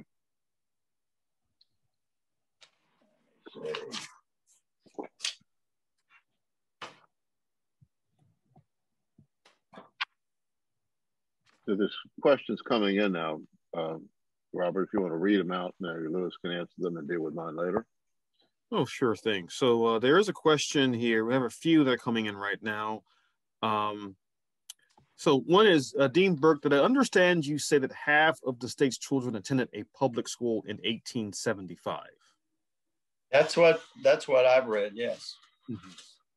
it's a pretty phenomenal number, considering we didn't have any public education at all before that. Okay, and then there's a question: What was the promised land in Abbeville or Greenwood County? I haven't heard of that. That's that's their families. That the, the area is called Promised Land, and their families there that uh, that got their land through the through the commission, land commission. Um, mm-hmm. Yeah, there there is um it, what's what's interesting about, and actually there is a book. It, it's kind of hard to find now, um, but it's it's called "Promised Land: A Century of Life in Negro Community." I'll put it in the chat as well. Um, that's actually about that part of of South Carolina. But one of the things that that Dean Burke's getting at here that's really important to also mention is that there are and what you see tonight is that there are enclaves of, of black life in South Carolina, whether it's Port Royal, Lower Richland, Greenwood area, places that were experiments in black self-sufficiency as much as was possible in this time period, which again was in, into itself a tremendous story to think of. Okay, uh, let's see. Okay, please speak more on Civil War battles fought in South Carolina. Well, uh, the big thing about the battles in South Carolina you have to keep in mind that most of the big battles of the war are being fought further away. They're being fought in Virginia, especially with the Army of Northern Virginia being such a target unto itself, or they're being fought in Tennessee um, as the Union is trying to make its, its way deeper into the Deep South. Uh, but with the Civil War battles in South Carolina, you really have what you could call three phases. Phase one is the Port Royal battles in 1861, which are, are very short uh, in, in length. Phase two in 1863, there is an attempt by the federal government to really make a push towards Charleston. And this is actually is what leads to the Battle of Fort Wagner in July of 1863, where the famous 54th Massachusetts Regiment uh, fights in the storming of Battery Wagner. Again, if you've seen the film Glory, you've seen the dramatization of that battle. Uh, unfortunately, the 54th and other supporting units are repulsed, and Battery Wagner remains in Confederate hands. But then in 1864 and 65, that's when you really get most of the major battles in South Carolina being fought during the Civil War, where the federal army under William T. Sherman enters the state uh, with the express goal of essentially taking Columbia and bringing into the war in South Carolina. And many of the battles fought in 1865 are essentially, from South Carolina's perspective, desperate rearguard actions or trying to hold off the federal army as long as they possibly can. But as I mentioned before, uh, by this point, the Confederate army is in tatters. Most of the best South Carolina units are actually fighting in Northern Virginia. And what they have in South Carolina is just old men and young boys defending the state. I don't want to go too far with this parallel, but it's actually a reminder, reminiscent rather, of what you'll see at the end of World War II in Germany, when the German government is basically throwing everything they have at the war effort, which includes, again, young boys and old men who aren't really battle ready or really trained to fight uh, in a war. This is the same going on in South Carolina in 1865. Uh, one more thing about the battles, though, is that it also exposes just how much the state's infrastructure has fallen apart because you see more and more enslaved Africans using the battles as an opportunity to escape to freedom, uh, going really in three directions. Uh, some of them are going north towards East Tennessee, where the Union has already had a, a considerable presence during the war. Some are going west towards Georgia after it falls to General Sherman. And then lastly, some enslaved Africans are fleeing to Charleston in the low country area where near Port Royal, of course, the federal army has a presence as well. Okay. Um, okay, another question. Uh, at the time, were there any movements for reparations for Black people connected to land reform or similar efforts? Well, the Land Commission was that. Mm-hmm. I mean, it was not 40 acres and a mule, but um, the land was sold at uh, at very low prices, as I as I understand it. Mm-hmm. That's that's exactly right. Um, you do see attempts to. I mean, the Land Commission is, is created uh, essentially to be a response to that question about reparations. Um, you do see other attempts across the South by some formerly enslaved people to sue for reparations that uh, don't get terribly far. Um, but the recognition here is that the fact that the Land Commission is the only attempt by a Southern state during the Reconstruction era to redistribute land to, to African Americans is still noteworthy. The fact it didn't happen anywhere else, I think, shows how South Carolina's experience was was relatively unique during the Reconstruction era. Um, but with your question about reparations, really quickly, it's also worth noting that a lot of reparations arguments today, um, whether you read Ta-Nehisi Coates' essay from uh, 2014 or go back to reparations debates in the 60s and 70s, many of them actually begin not so much with slavery as to do with Reconstruction and the failure to help 4 million newly freed Black men, women, and children get on their feet in the aftermath of Civil War and slavery. Okay, other question. Uh, Pre Vesey, uh, do we have information as to the Black church position on revolts rebellion? That's an interesting question. Um, now, what's interesting is that the AME church by 1822 was still a relatively young institution. Um, it had only really started in the 1790s uh, under uh, Bishop Richard Allen in Philadelphia. But the church itself, I'll put it this way, it really depends on what part of the country you're in. Certainly, what will become Emmanuel AME Church will provide some support for a slave rebellion in South Carolina. But more importantly, the Black church in the early 19th century is the only place that's actually using the Bible as a justification for resistance to slavery. As many of you probably already know, uh, most white Christians in the South, they are, when they expose their enslaved Africans to Christianity, they're doing so via passages that are, you know, construed in a way to be pro slavery. But the Black church is one of the few places saying, well, actually, look at other parts of the Bible. There are places that also provide justification for rising up in rebellion, rising up for freedom. And of course, certainly Nat Turner is another good example of, of what that would ultimately look like. Okay, um, let's see, another question here. Got a lot of comments rolling in now. Um, in last week's session, we started to talk about the issues faced by Native Americans. How did land reform affect Native Americans? Well, I, I would say by this point, the, the indigenous presence in South Carolina is very small by the Reconstruction period.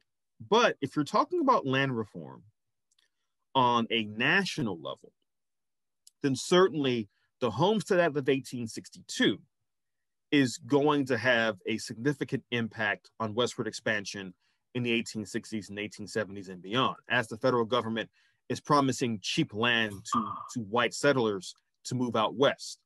Um, and so, certainly, if you think about land reform on a federal level, it benefits primarily white um, settlers across the country to the detriment of A, indigenous folks in the West, and B, the fact that Homestead Act, for instance, didn't really offer as much aid to African Americans is something that in the 20th century, many activists like Martin Luther King Jr., for instance, would also uh, point out too. Okay. Okay, so. Okay, okay, so here's another question here. Who were the enslaved Africans? Why were they the African enslaved in South Carolina? Who were the Europeans? Why were they in South Carolina?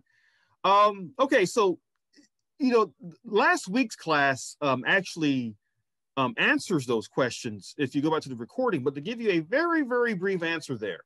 Um, what's interesting about the enslavement of Africans in the Americas is that I think many of us have this view of enslavement as they're just getting Africans from Africa and that's it. In fact, what's happening is that they are often looking for Africans from certain parts of West and Southwest Africa to live in different parts of the Americas based on their knowledge of the land, based on knowledge of agriculture, of engineering, etc. For example, in South Carolina, uh, in the 18th century especially, most of the enslaved Africans who were brought to South Carolina were brought from, from the Congo Kingdom on the coast of Southwest Africa, mainly because their expertise in growing, for example, rice. Uh, the Europeans, of course, by the 18th and 19th centuries, were the descendants of A, the Barbadians, the English settlers of Barbados moved to South Carolina in the 1660s, and then B, of course, white immigrants from uh, Britain, Scotland, uh, to a lesser extent, France as well. Um, and they were in South Carolina primarily to make money off the land via enslavement of Africans and indigenous folks too.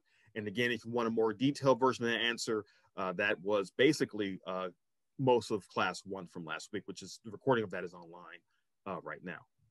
Okay, uh, what could Republicans in the federal government or even those in the state government in South Carolina have done to ensure that the efforts of Reconstruction persisted? Shouldn't the federal government have put their foot down when they saw what white supremacists in the South were up to? Yes, they should have, but they didn't. and that's that was the failure of um, the Republican Party. They were more interested in railroads and banks than they were uh, in uh, black people in the South or working people in general. Mm-hmm. Indeed, and and to your point, also to Carolyn's question as well. Uh, one of the readings for tonight, uh, the Douglass option, uh, actually gets into the idea of how Frederick Douglass in the 1860s is telling President Andrew Johnson and other and Republicans in general, your best chance to create a lasting Reconstruction policy is to build a Republican Party that is a biracial coalition of African Americans and poor whites across the South. And as you've seen this evening, um, as Dean Burke is so has so magnificently shown us, in South Carolina, Black Republicans are certainly interested in that, but they're they're clearly not getting enough support from the federal government, from the National Republican Party, to do so in the long term, as Dean Burke just said.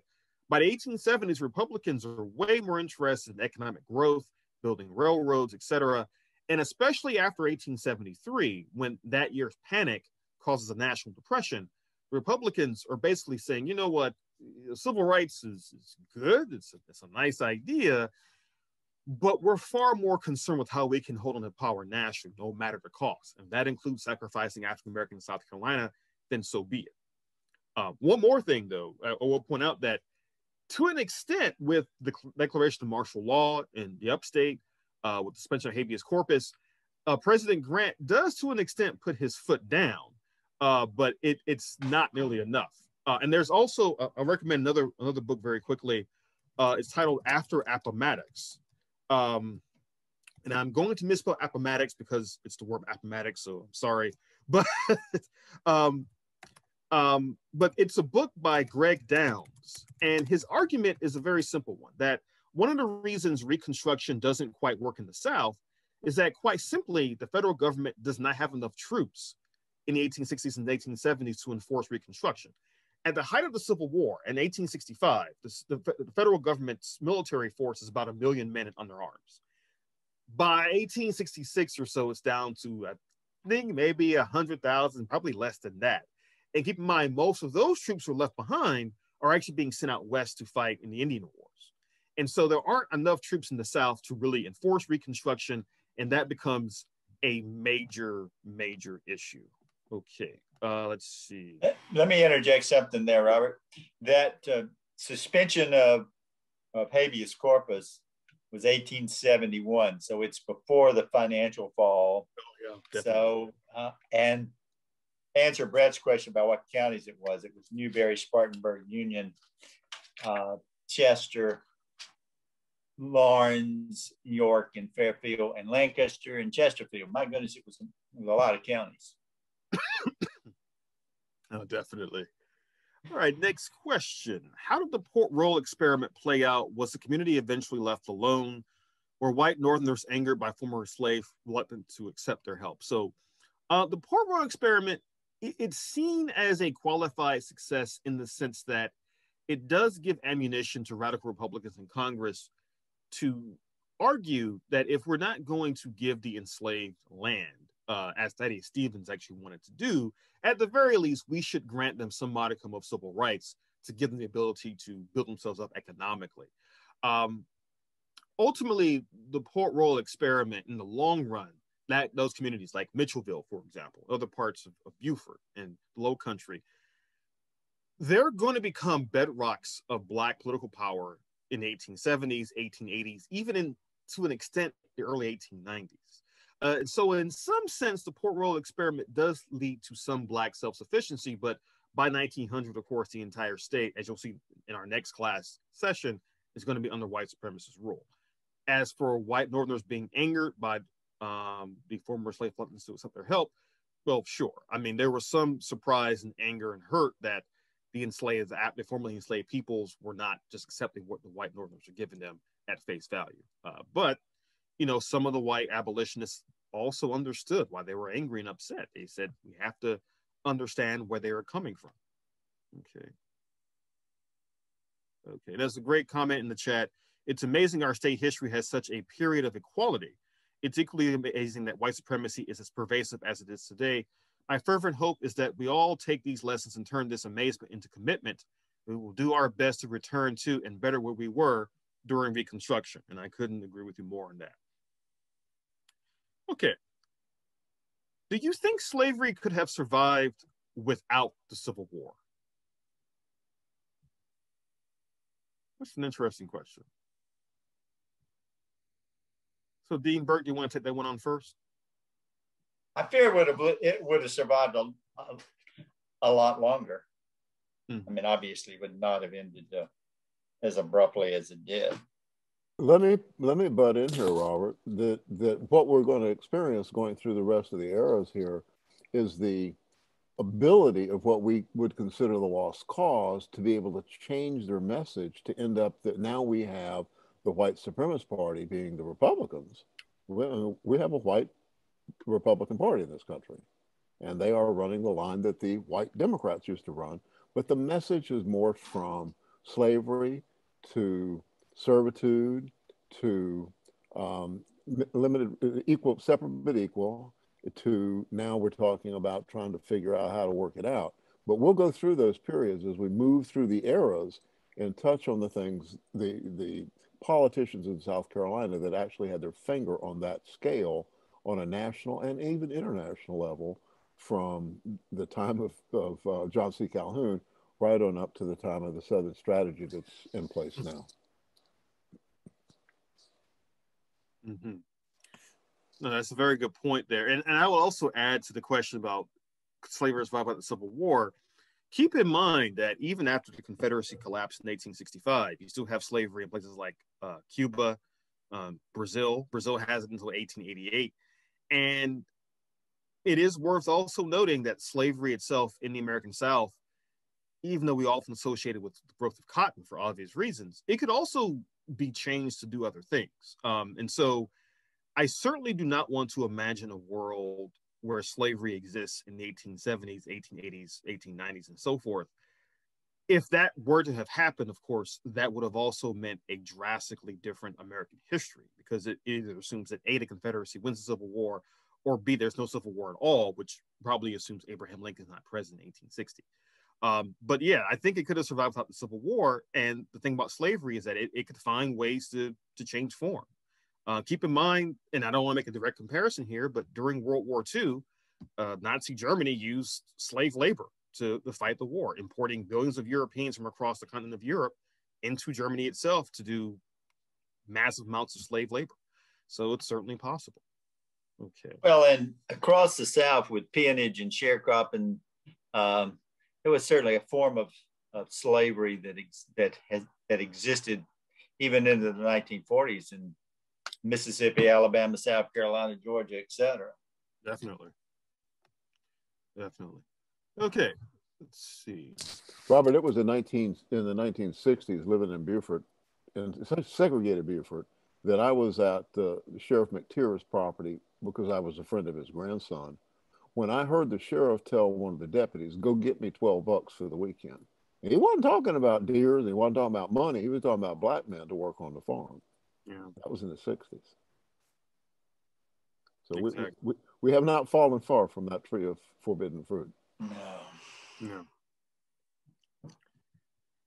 All right, another good question in the chat here. There's a lot of good questions and comments this evening. I'm really enjoying this.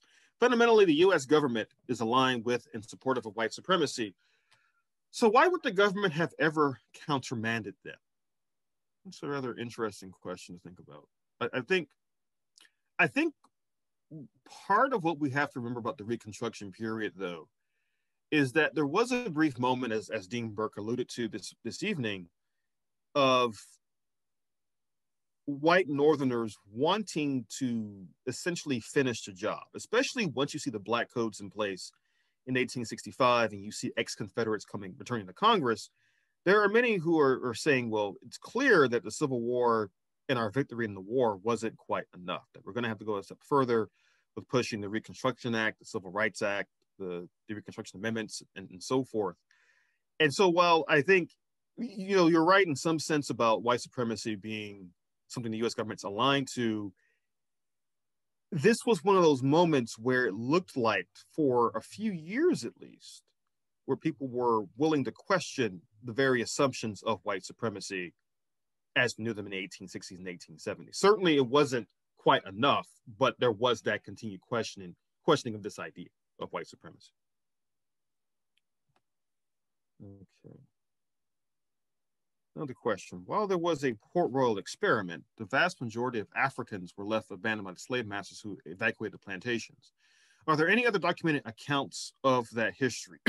Excuse me. Yeah, you know, the Port Royal experiment is one of those things that there have been uh, a few books and articles written about it. It does get considerable mention in many Reconstruction histories, um, especially by folks like Du Bois's Black Reconstruction America gets in the Port Royal experiment, for example. Um, I'll try to dig up a few more uh, book titles for you and try to send those out to the class sometime later this week because that's certainly an important part of this history. And of course, on the Modjeska Simkins uh, school website, there we have some readings up there about the Port Royal experiment as well. Okay, let's see. Okay, well, there's an interesting question here. During Reconstruction, would it have been more beneficial for activists and Blacks to remain in the South and persist rather than migrating west or north. Thinking about Ida B. Wells leaving Tennessee and encouraging folks to go with her and the group his sister staying in South Carolina, do you think this would have impacted today's political climate if things would have been different? Well, actually, the vast majority of African Americans do stay in the South during and after Reconstruction. You do have attempts, I'll put this in the chat really quickly. You do have African Americans who urge immigration. Uh, some uh, actually, like for example, Henry McNeil Turner. I'll put his name in the chat real quick. Um, he pushes for immigration to Africa in the 1860s and 1870s. He gets a few adherents to that. You have the exoduster movement um, in the 1870s and 1880s, pushing African Americans to move to places like Kansas and Oklahoma.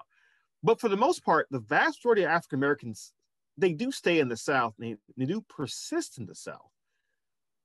But let's remember to look at this from their perspective for a second. We will be asking them to stay in a part of the country where hundreds, if not thousands, of African Americans were tortured, brutalized, and murdered during the Reconstruction period. Um, they did remain in the South. They did persist even during the 20th century with the great migration of Blacks from the South and the North and the West.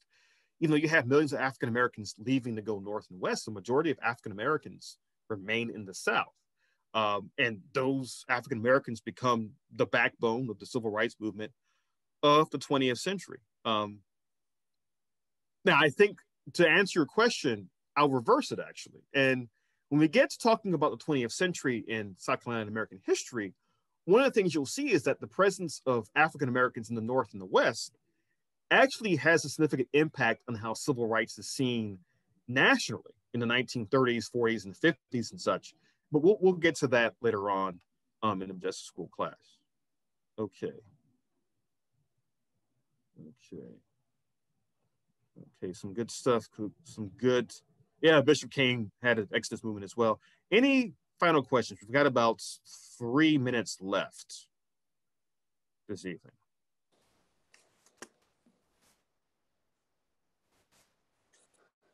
So what what we want to talk about now, Danny, you still got the screen, is um, the the sense that I have that the white working people in South Carolina feel they tremendously lost something, and that the Reconstruction, Louisa McCord, who we didn't touch on enough tonight, who was the the um, avatar of, of socialism being the evil in the 1840s. I had no idea there was an anti-socialist movement in America in the 1840s and that Louisa McCord lived on the corner of Bull and uh, Pendleton, right across from the horseshoe at the university, and that the little horseshoe where the administration building is. And, and she became um, very unusually a woman writer who was, uh, was uh, arguing against the type of socialist influence that was creeping in from Europe. But she said that Reconstruction was worse than the war and that that the dissolution, the destruction, and everything was something that that made a lot of people that hadn't really had a dog in the fight feel the pain of it. And so, one of the things that I think that we need to anticipate, uh, understand, is that these these people are angry and they don't know who to be angry at. And so their anger is directed at the same people that are played off against them. I mean, I, I recall living in, in, in Olympia in, in, the 70s when we were doing the grassroots organizing workshop, when the fellow that lived next door to us had worked in the mill for 50 years. And we were there in the 70s. So he started working in the mill in the 20s. And the, the mill was segregated. But he didn't, he got to come in the front door. And so the little bit of privilege that has been doled out to the white working class still is a game they play. And, you know, it's a game of fools. And we have to understand how to be able to relate to people about how they're being taken advantage of. And I think that the Trump administration and the, the COVID thing is waking people up at least to some of the, the, the liability of having everything in your country being for profit. That's healthcare or education. And so we want to open the, the floor here to, to people raising their hands. Daniel, we need to uh, stop the screen share.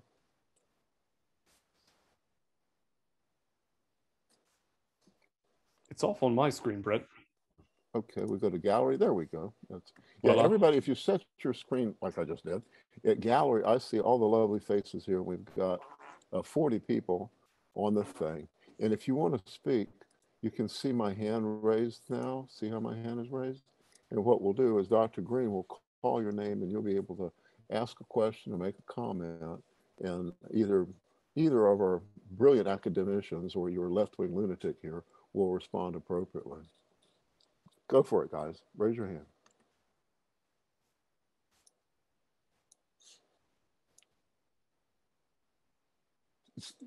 There's Marjorie is raising her real hand. Call on that woman. Please. All right, Marjorie, go right ahead. and she's got to unmute herself. It's the only way we can keep her quiet.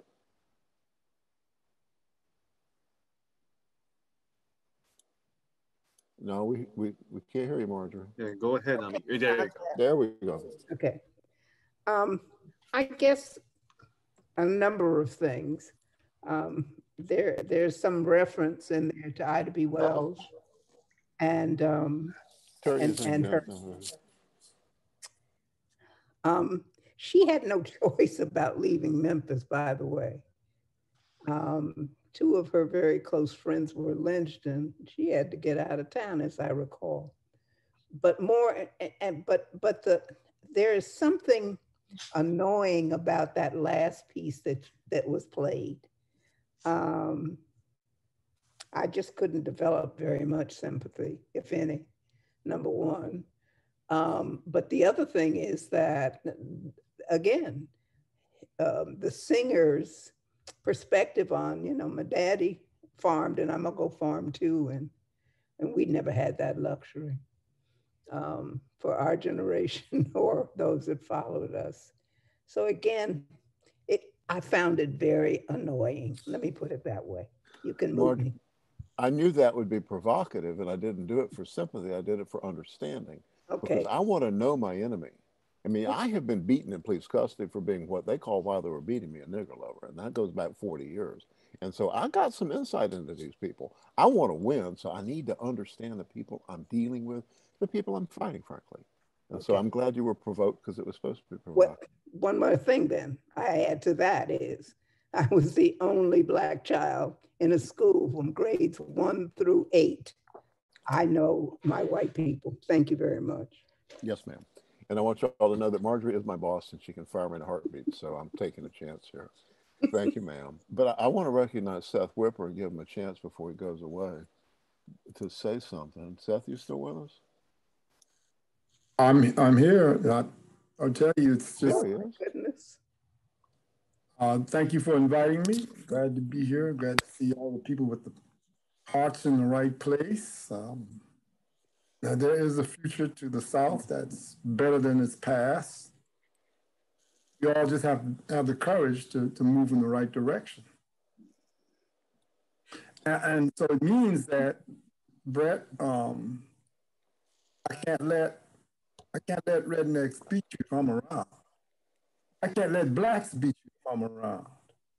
Because there's a difference between right and wrong that we all have to be willing to stand against. For, I mean, stand for the right.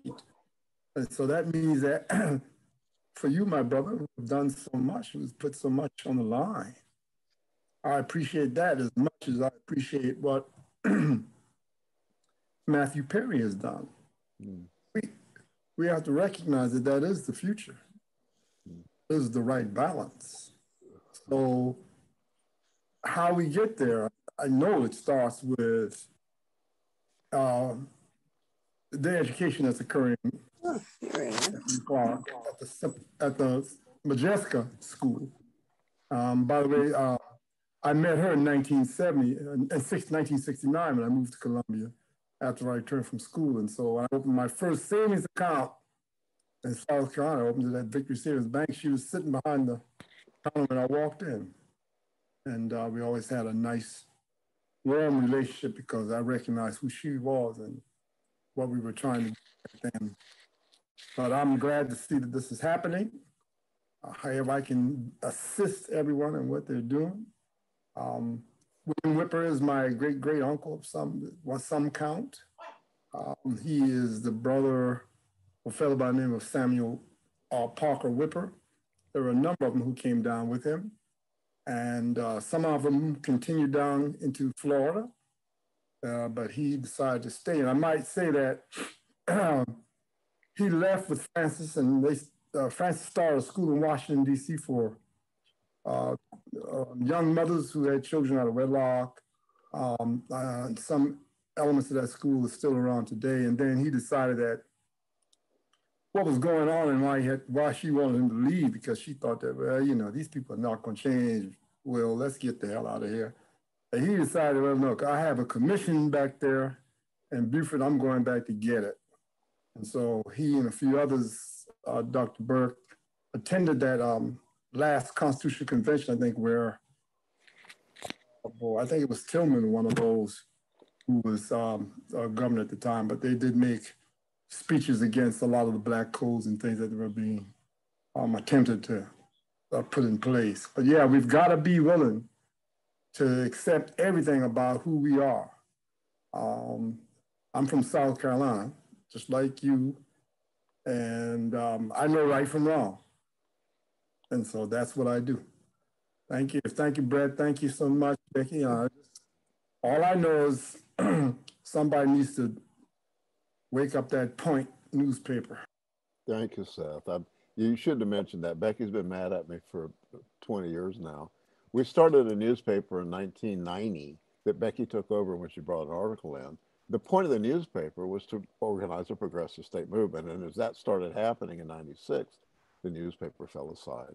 And I've, I've never ended up paying for that. But thank you, Seth. And I promise you, we're going to organize something that you can be the last, you can be the magistrate with your last duties to let us go without bond. I don't see any hands up. Nobody. Uh, actually, I, have seen a couple. Um, okay, Robert, take over. Yes. So uh, I saw that uh, Gene Hammock's hand was up. So Gene go first, and then Miko Pickett's hand was up as well. So Gene first, then Miko afterwards. And please, Gene, uh, unmute yourself as well, please. Oh, one more time. Hey, you're still muted right now. How's there that? Yes. Okay. I don't know where to start. Uh, this has been, as a northerner, a complete northerner, born in Brooklyn, lived there all my life. Um, you don't, you know what's going on. You hear some things, you read some things, but it's very different coming here and living it and seeing the places and meeting the people and the uh, progeny of those people. Uh, it's fascinating. But the one thing that I don't know which one of you said is we have to we have to have a connection with each other for good or for bad. We have to learn to speak to each other. We have to learn to understand what the other person is coming from.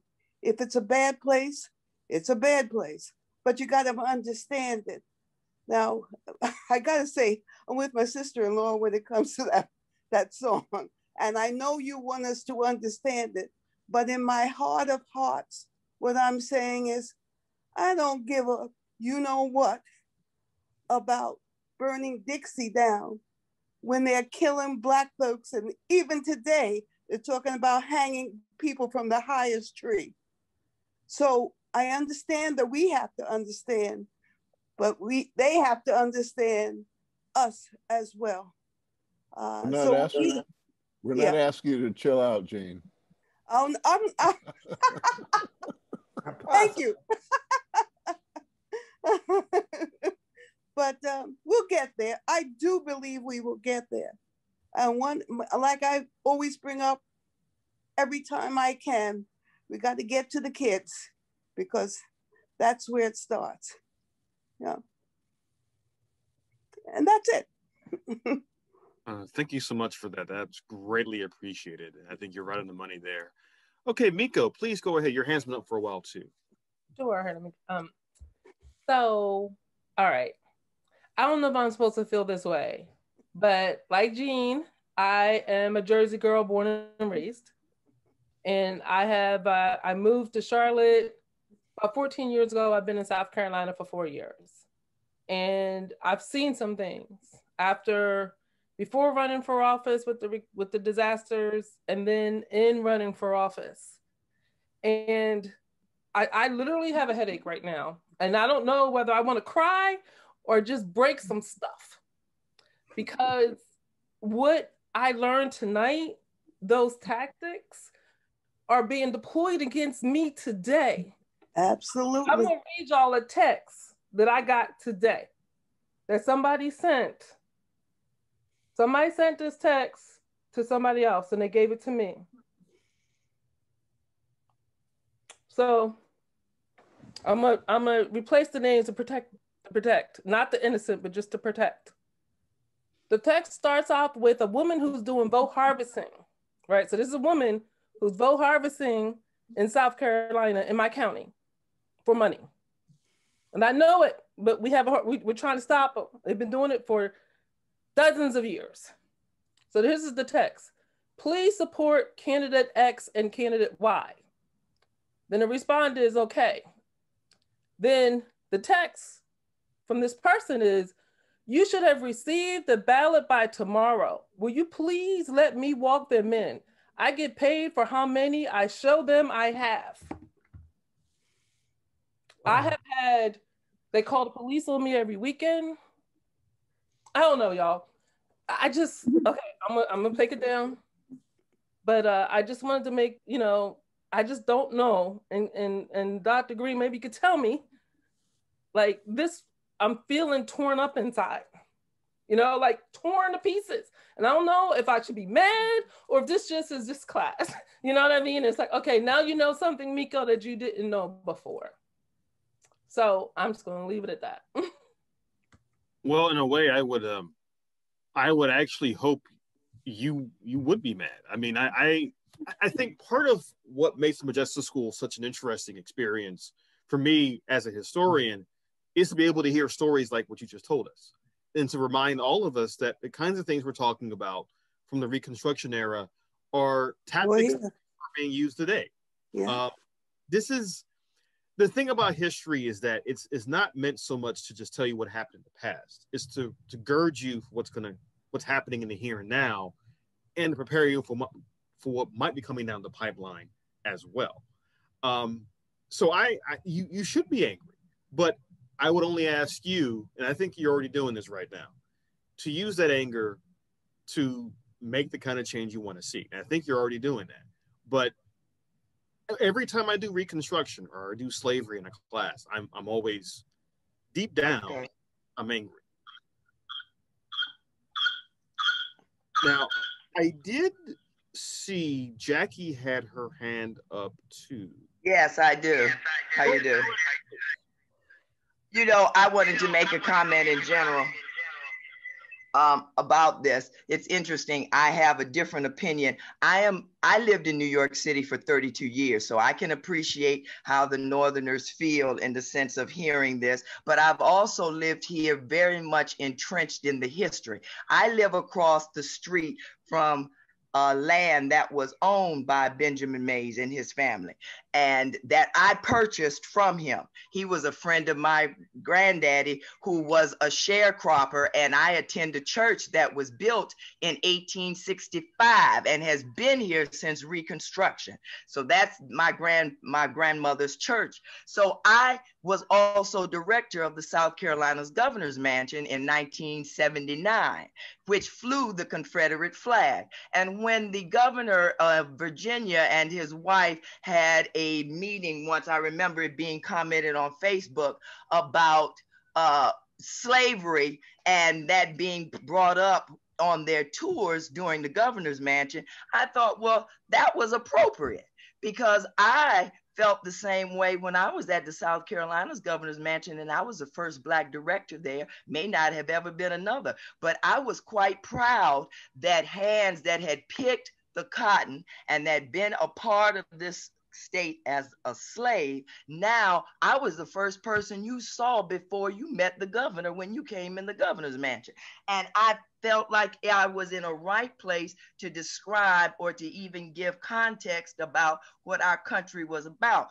I don't like people who dis disregard the history of either side, black or white. I went to the University of South Carolina just because I could, so I could learn about the white folks. Quite frankly, I said, "Oh, I need to get deeply entrenched in this. I want to know you so you can know me." And I think when we dismiss either side and become so sensitive that we can't hear it, that it erupts us emotionally, that we stop the conversation. That's probably the reason why you hear Biden uh, say this is not who we are when this is who we are. And I'm always wondering, has he not taken any history classes? Why not lead the country in a historical discussion about why, for example, Asians are historically thought of in this way in our country? We've dismissed them twice in this country. So just on that segment alone, or yet even talk about why blacks feel the way they do in the midst of Black Lives Matter, etc. He is not giving the country a history lesson. The thing that has made me most mad about Nikki Haley is the fact that she came from a state that was established for slavery. And she got on that stage and said, America is not a racist country. I wanted to know where the hell she went to school. So that's my comment. Well, you hear that, Brett? We should try to get uh, Joe Biden to take the class next year. We can. no, that's not funny. Actually, it should be something. Yeah. It should be something brought up to uh, the Congressional Black Caucus, and they can spread it around, maybe. But it should definitely be how come our legislators and people seem unaware of our history and proud of it? Well, I, Robert, I want to address Miko and Jackie and our visitors and, and Jean from from the northern lands that have come here to join us. That if you bear with us for another uh, 12 weeks, we're going to get past the history and learn how to apply it. And that we're going to do a strategy analysis and, and practice lessons that all you have. And then we're going to have special tools and skills sessions and so we're not just doing this as a history lesson. We're doing this because we are committed. I am, and you will be hopefully if you graduate honestly from this course, a committed revolutionary that Dr. King talked about, the revolution for social justice. And that that's what Modjeska was involved in. That's what I've been involved in since I isolated myself from polite society by being raised well. And this is what we're trying to lead you into doing. And so bear with us because there, there, as, as we go through the class, like for instance, the song that we played tonight, The Night They Drove Old Dixie Down, sets the stage for the next number of years. In 1995, they wrote a constitution with the express purpose of excluding black people that wasn't changed. It hasn't been changed. It's still the Constitution we're under. And there weren't any people of color that were in office until 1970. And I was involved in that and there Seth Whipper was around and doing that. And so this is not ancient history. I mean, we're ancient, and so our history is a little older. And part of what the school is about is, damn it, I hope that there's some people under under 40. I'd love if there are people under 30 on this thing tonight. But if we don't get the children, we're gonna be they're gonna be doing this in another 30 years. Robert? Um, I, did, I, I did want to add something about why, and, and all all kidding aside about why Joe Biden is not more outspoken about these issues and why most politicians are not. It, uh, it's a couple of reasons. Number one, most, especially older politicians, when they were going to, to school, K through 12 and college, they were receiving a certain version of American history that saw American history as being just automatically progressive. Things were always getting better. It ignored African American history, indigenous history, the, the history of things like the Chinese Exclusion Act, and so forth. So I think that's part of the problem. But even politicians who do know this history, uh, say Barack Obama, for instance, they will allude to the progress made in American history. They'll use moments to educate the American people. But I think whether it's a president or a, a senator or a governor, they may also be thinking of, well, what kind of political calculus do I have to make to use my platform to talk about history?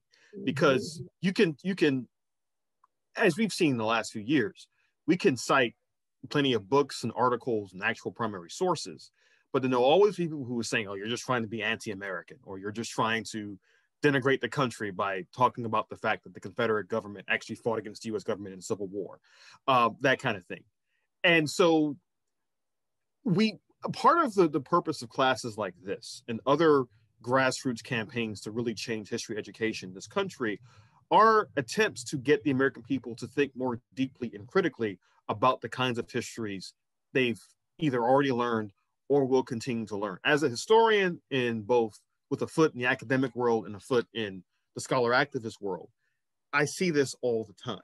Uh, it's a continuing battle on the internet, it's a continuing battle in print media and television media, et cetera and it's even a battle in in the bookshelves at say a Barnes and Noble. When you go in there and you see a history book written by Bill O'Reilly, and it's like, well, I don't know about that. But then you look at the mainstream history texts, and even those are leaving out, uh, for example, women of color, or leaving out the indigenous peoples, et cetera, and so forth. So we, this is a long running effort. We've got to push our politicians to do better, but we also have to push ourselves, our teachers, everyone in society to do better in terms of talking about our history forthrightly and honestly. I have a question, if I may. Okay. Go right ahead. Um,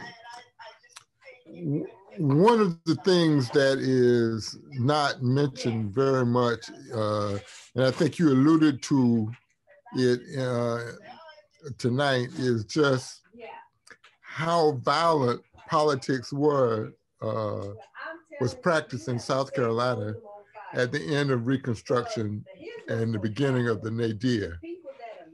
And uh, we know about the Hamburg massacre, the Ellenton, and and all of that. But just uh, county by county, if you look at the lives that were lost just for being in a particular party, uh, could you could you speak to that, please? Well, that's that's an interesting question, and with talking about the lives lost during the Reconstruction period, historians are fairly convinced it's in the thousands um, in terms of, of African Americans and to a lesser extent white Republicans who were killed in South Carolina and across the South. In many ways, the Reconstruction period was actually a second Civil War. It, it was just more on the level of an insurgency than anything else. And so we historians will admit that we don't really have an accurate number today of how many died, but I will give you one number. I think Robert Smalls himself gave a speech in 1895 where he said he thought the casualties were in the range of I think 50 to 60,000 that were lost, which is an astounding number when you consider this was a relative this is supposed to be peacetime, but like you said, the Reconstruction era was incredibly violent, and we really have not reckoned with that violence in a, in a, in a fully accountable manner.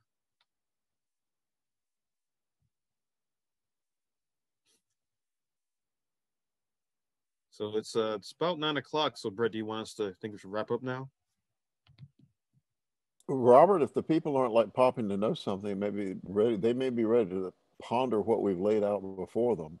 And this is not supposed to be necessarily like in you know the sugar to make things go down but i think that the end of the day what we're trying to do is to give you the capability of being able to act through the bitterness in a strategic fashion that will be able to make and sustain change so bear with us and i really do appreciate you being here because this would be really boring if you weren't And so we're going to come back next Monday now. Next Monday um, is going to be Vernon Burton, who, Vernon, amazing fellow who um, the, the, the, the Bible of Ben Tillman is called Pitchfork Ben Tillman. And it was written by a guy named Simkins, of all strange kind of coincidences, a long time ago. And in its most recent printing, Vernon wrote the introduction to the Bible of Ben Tillman. And so that, that introduction, it will be, it's in your reading. I'll make sure I send it out to, to prep you for it.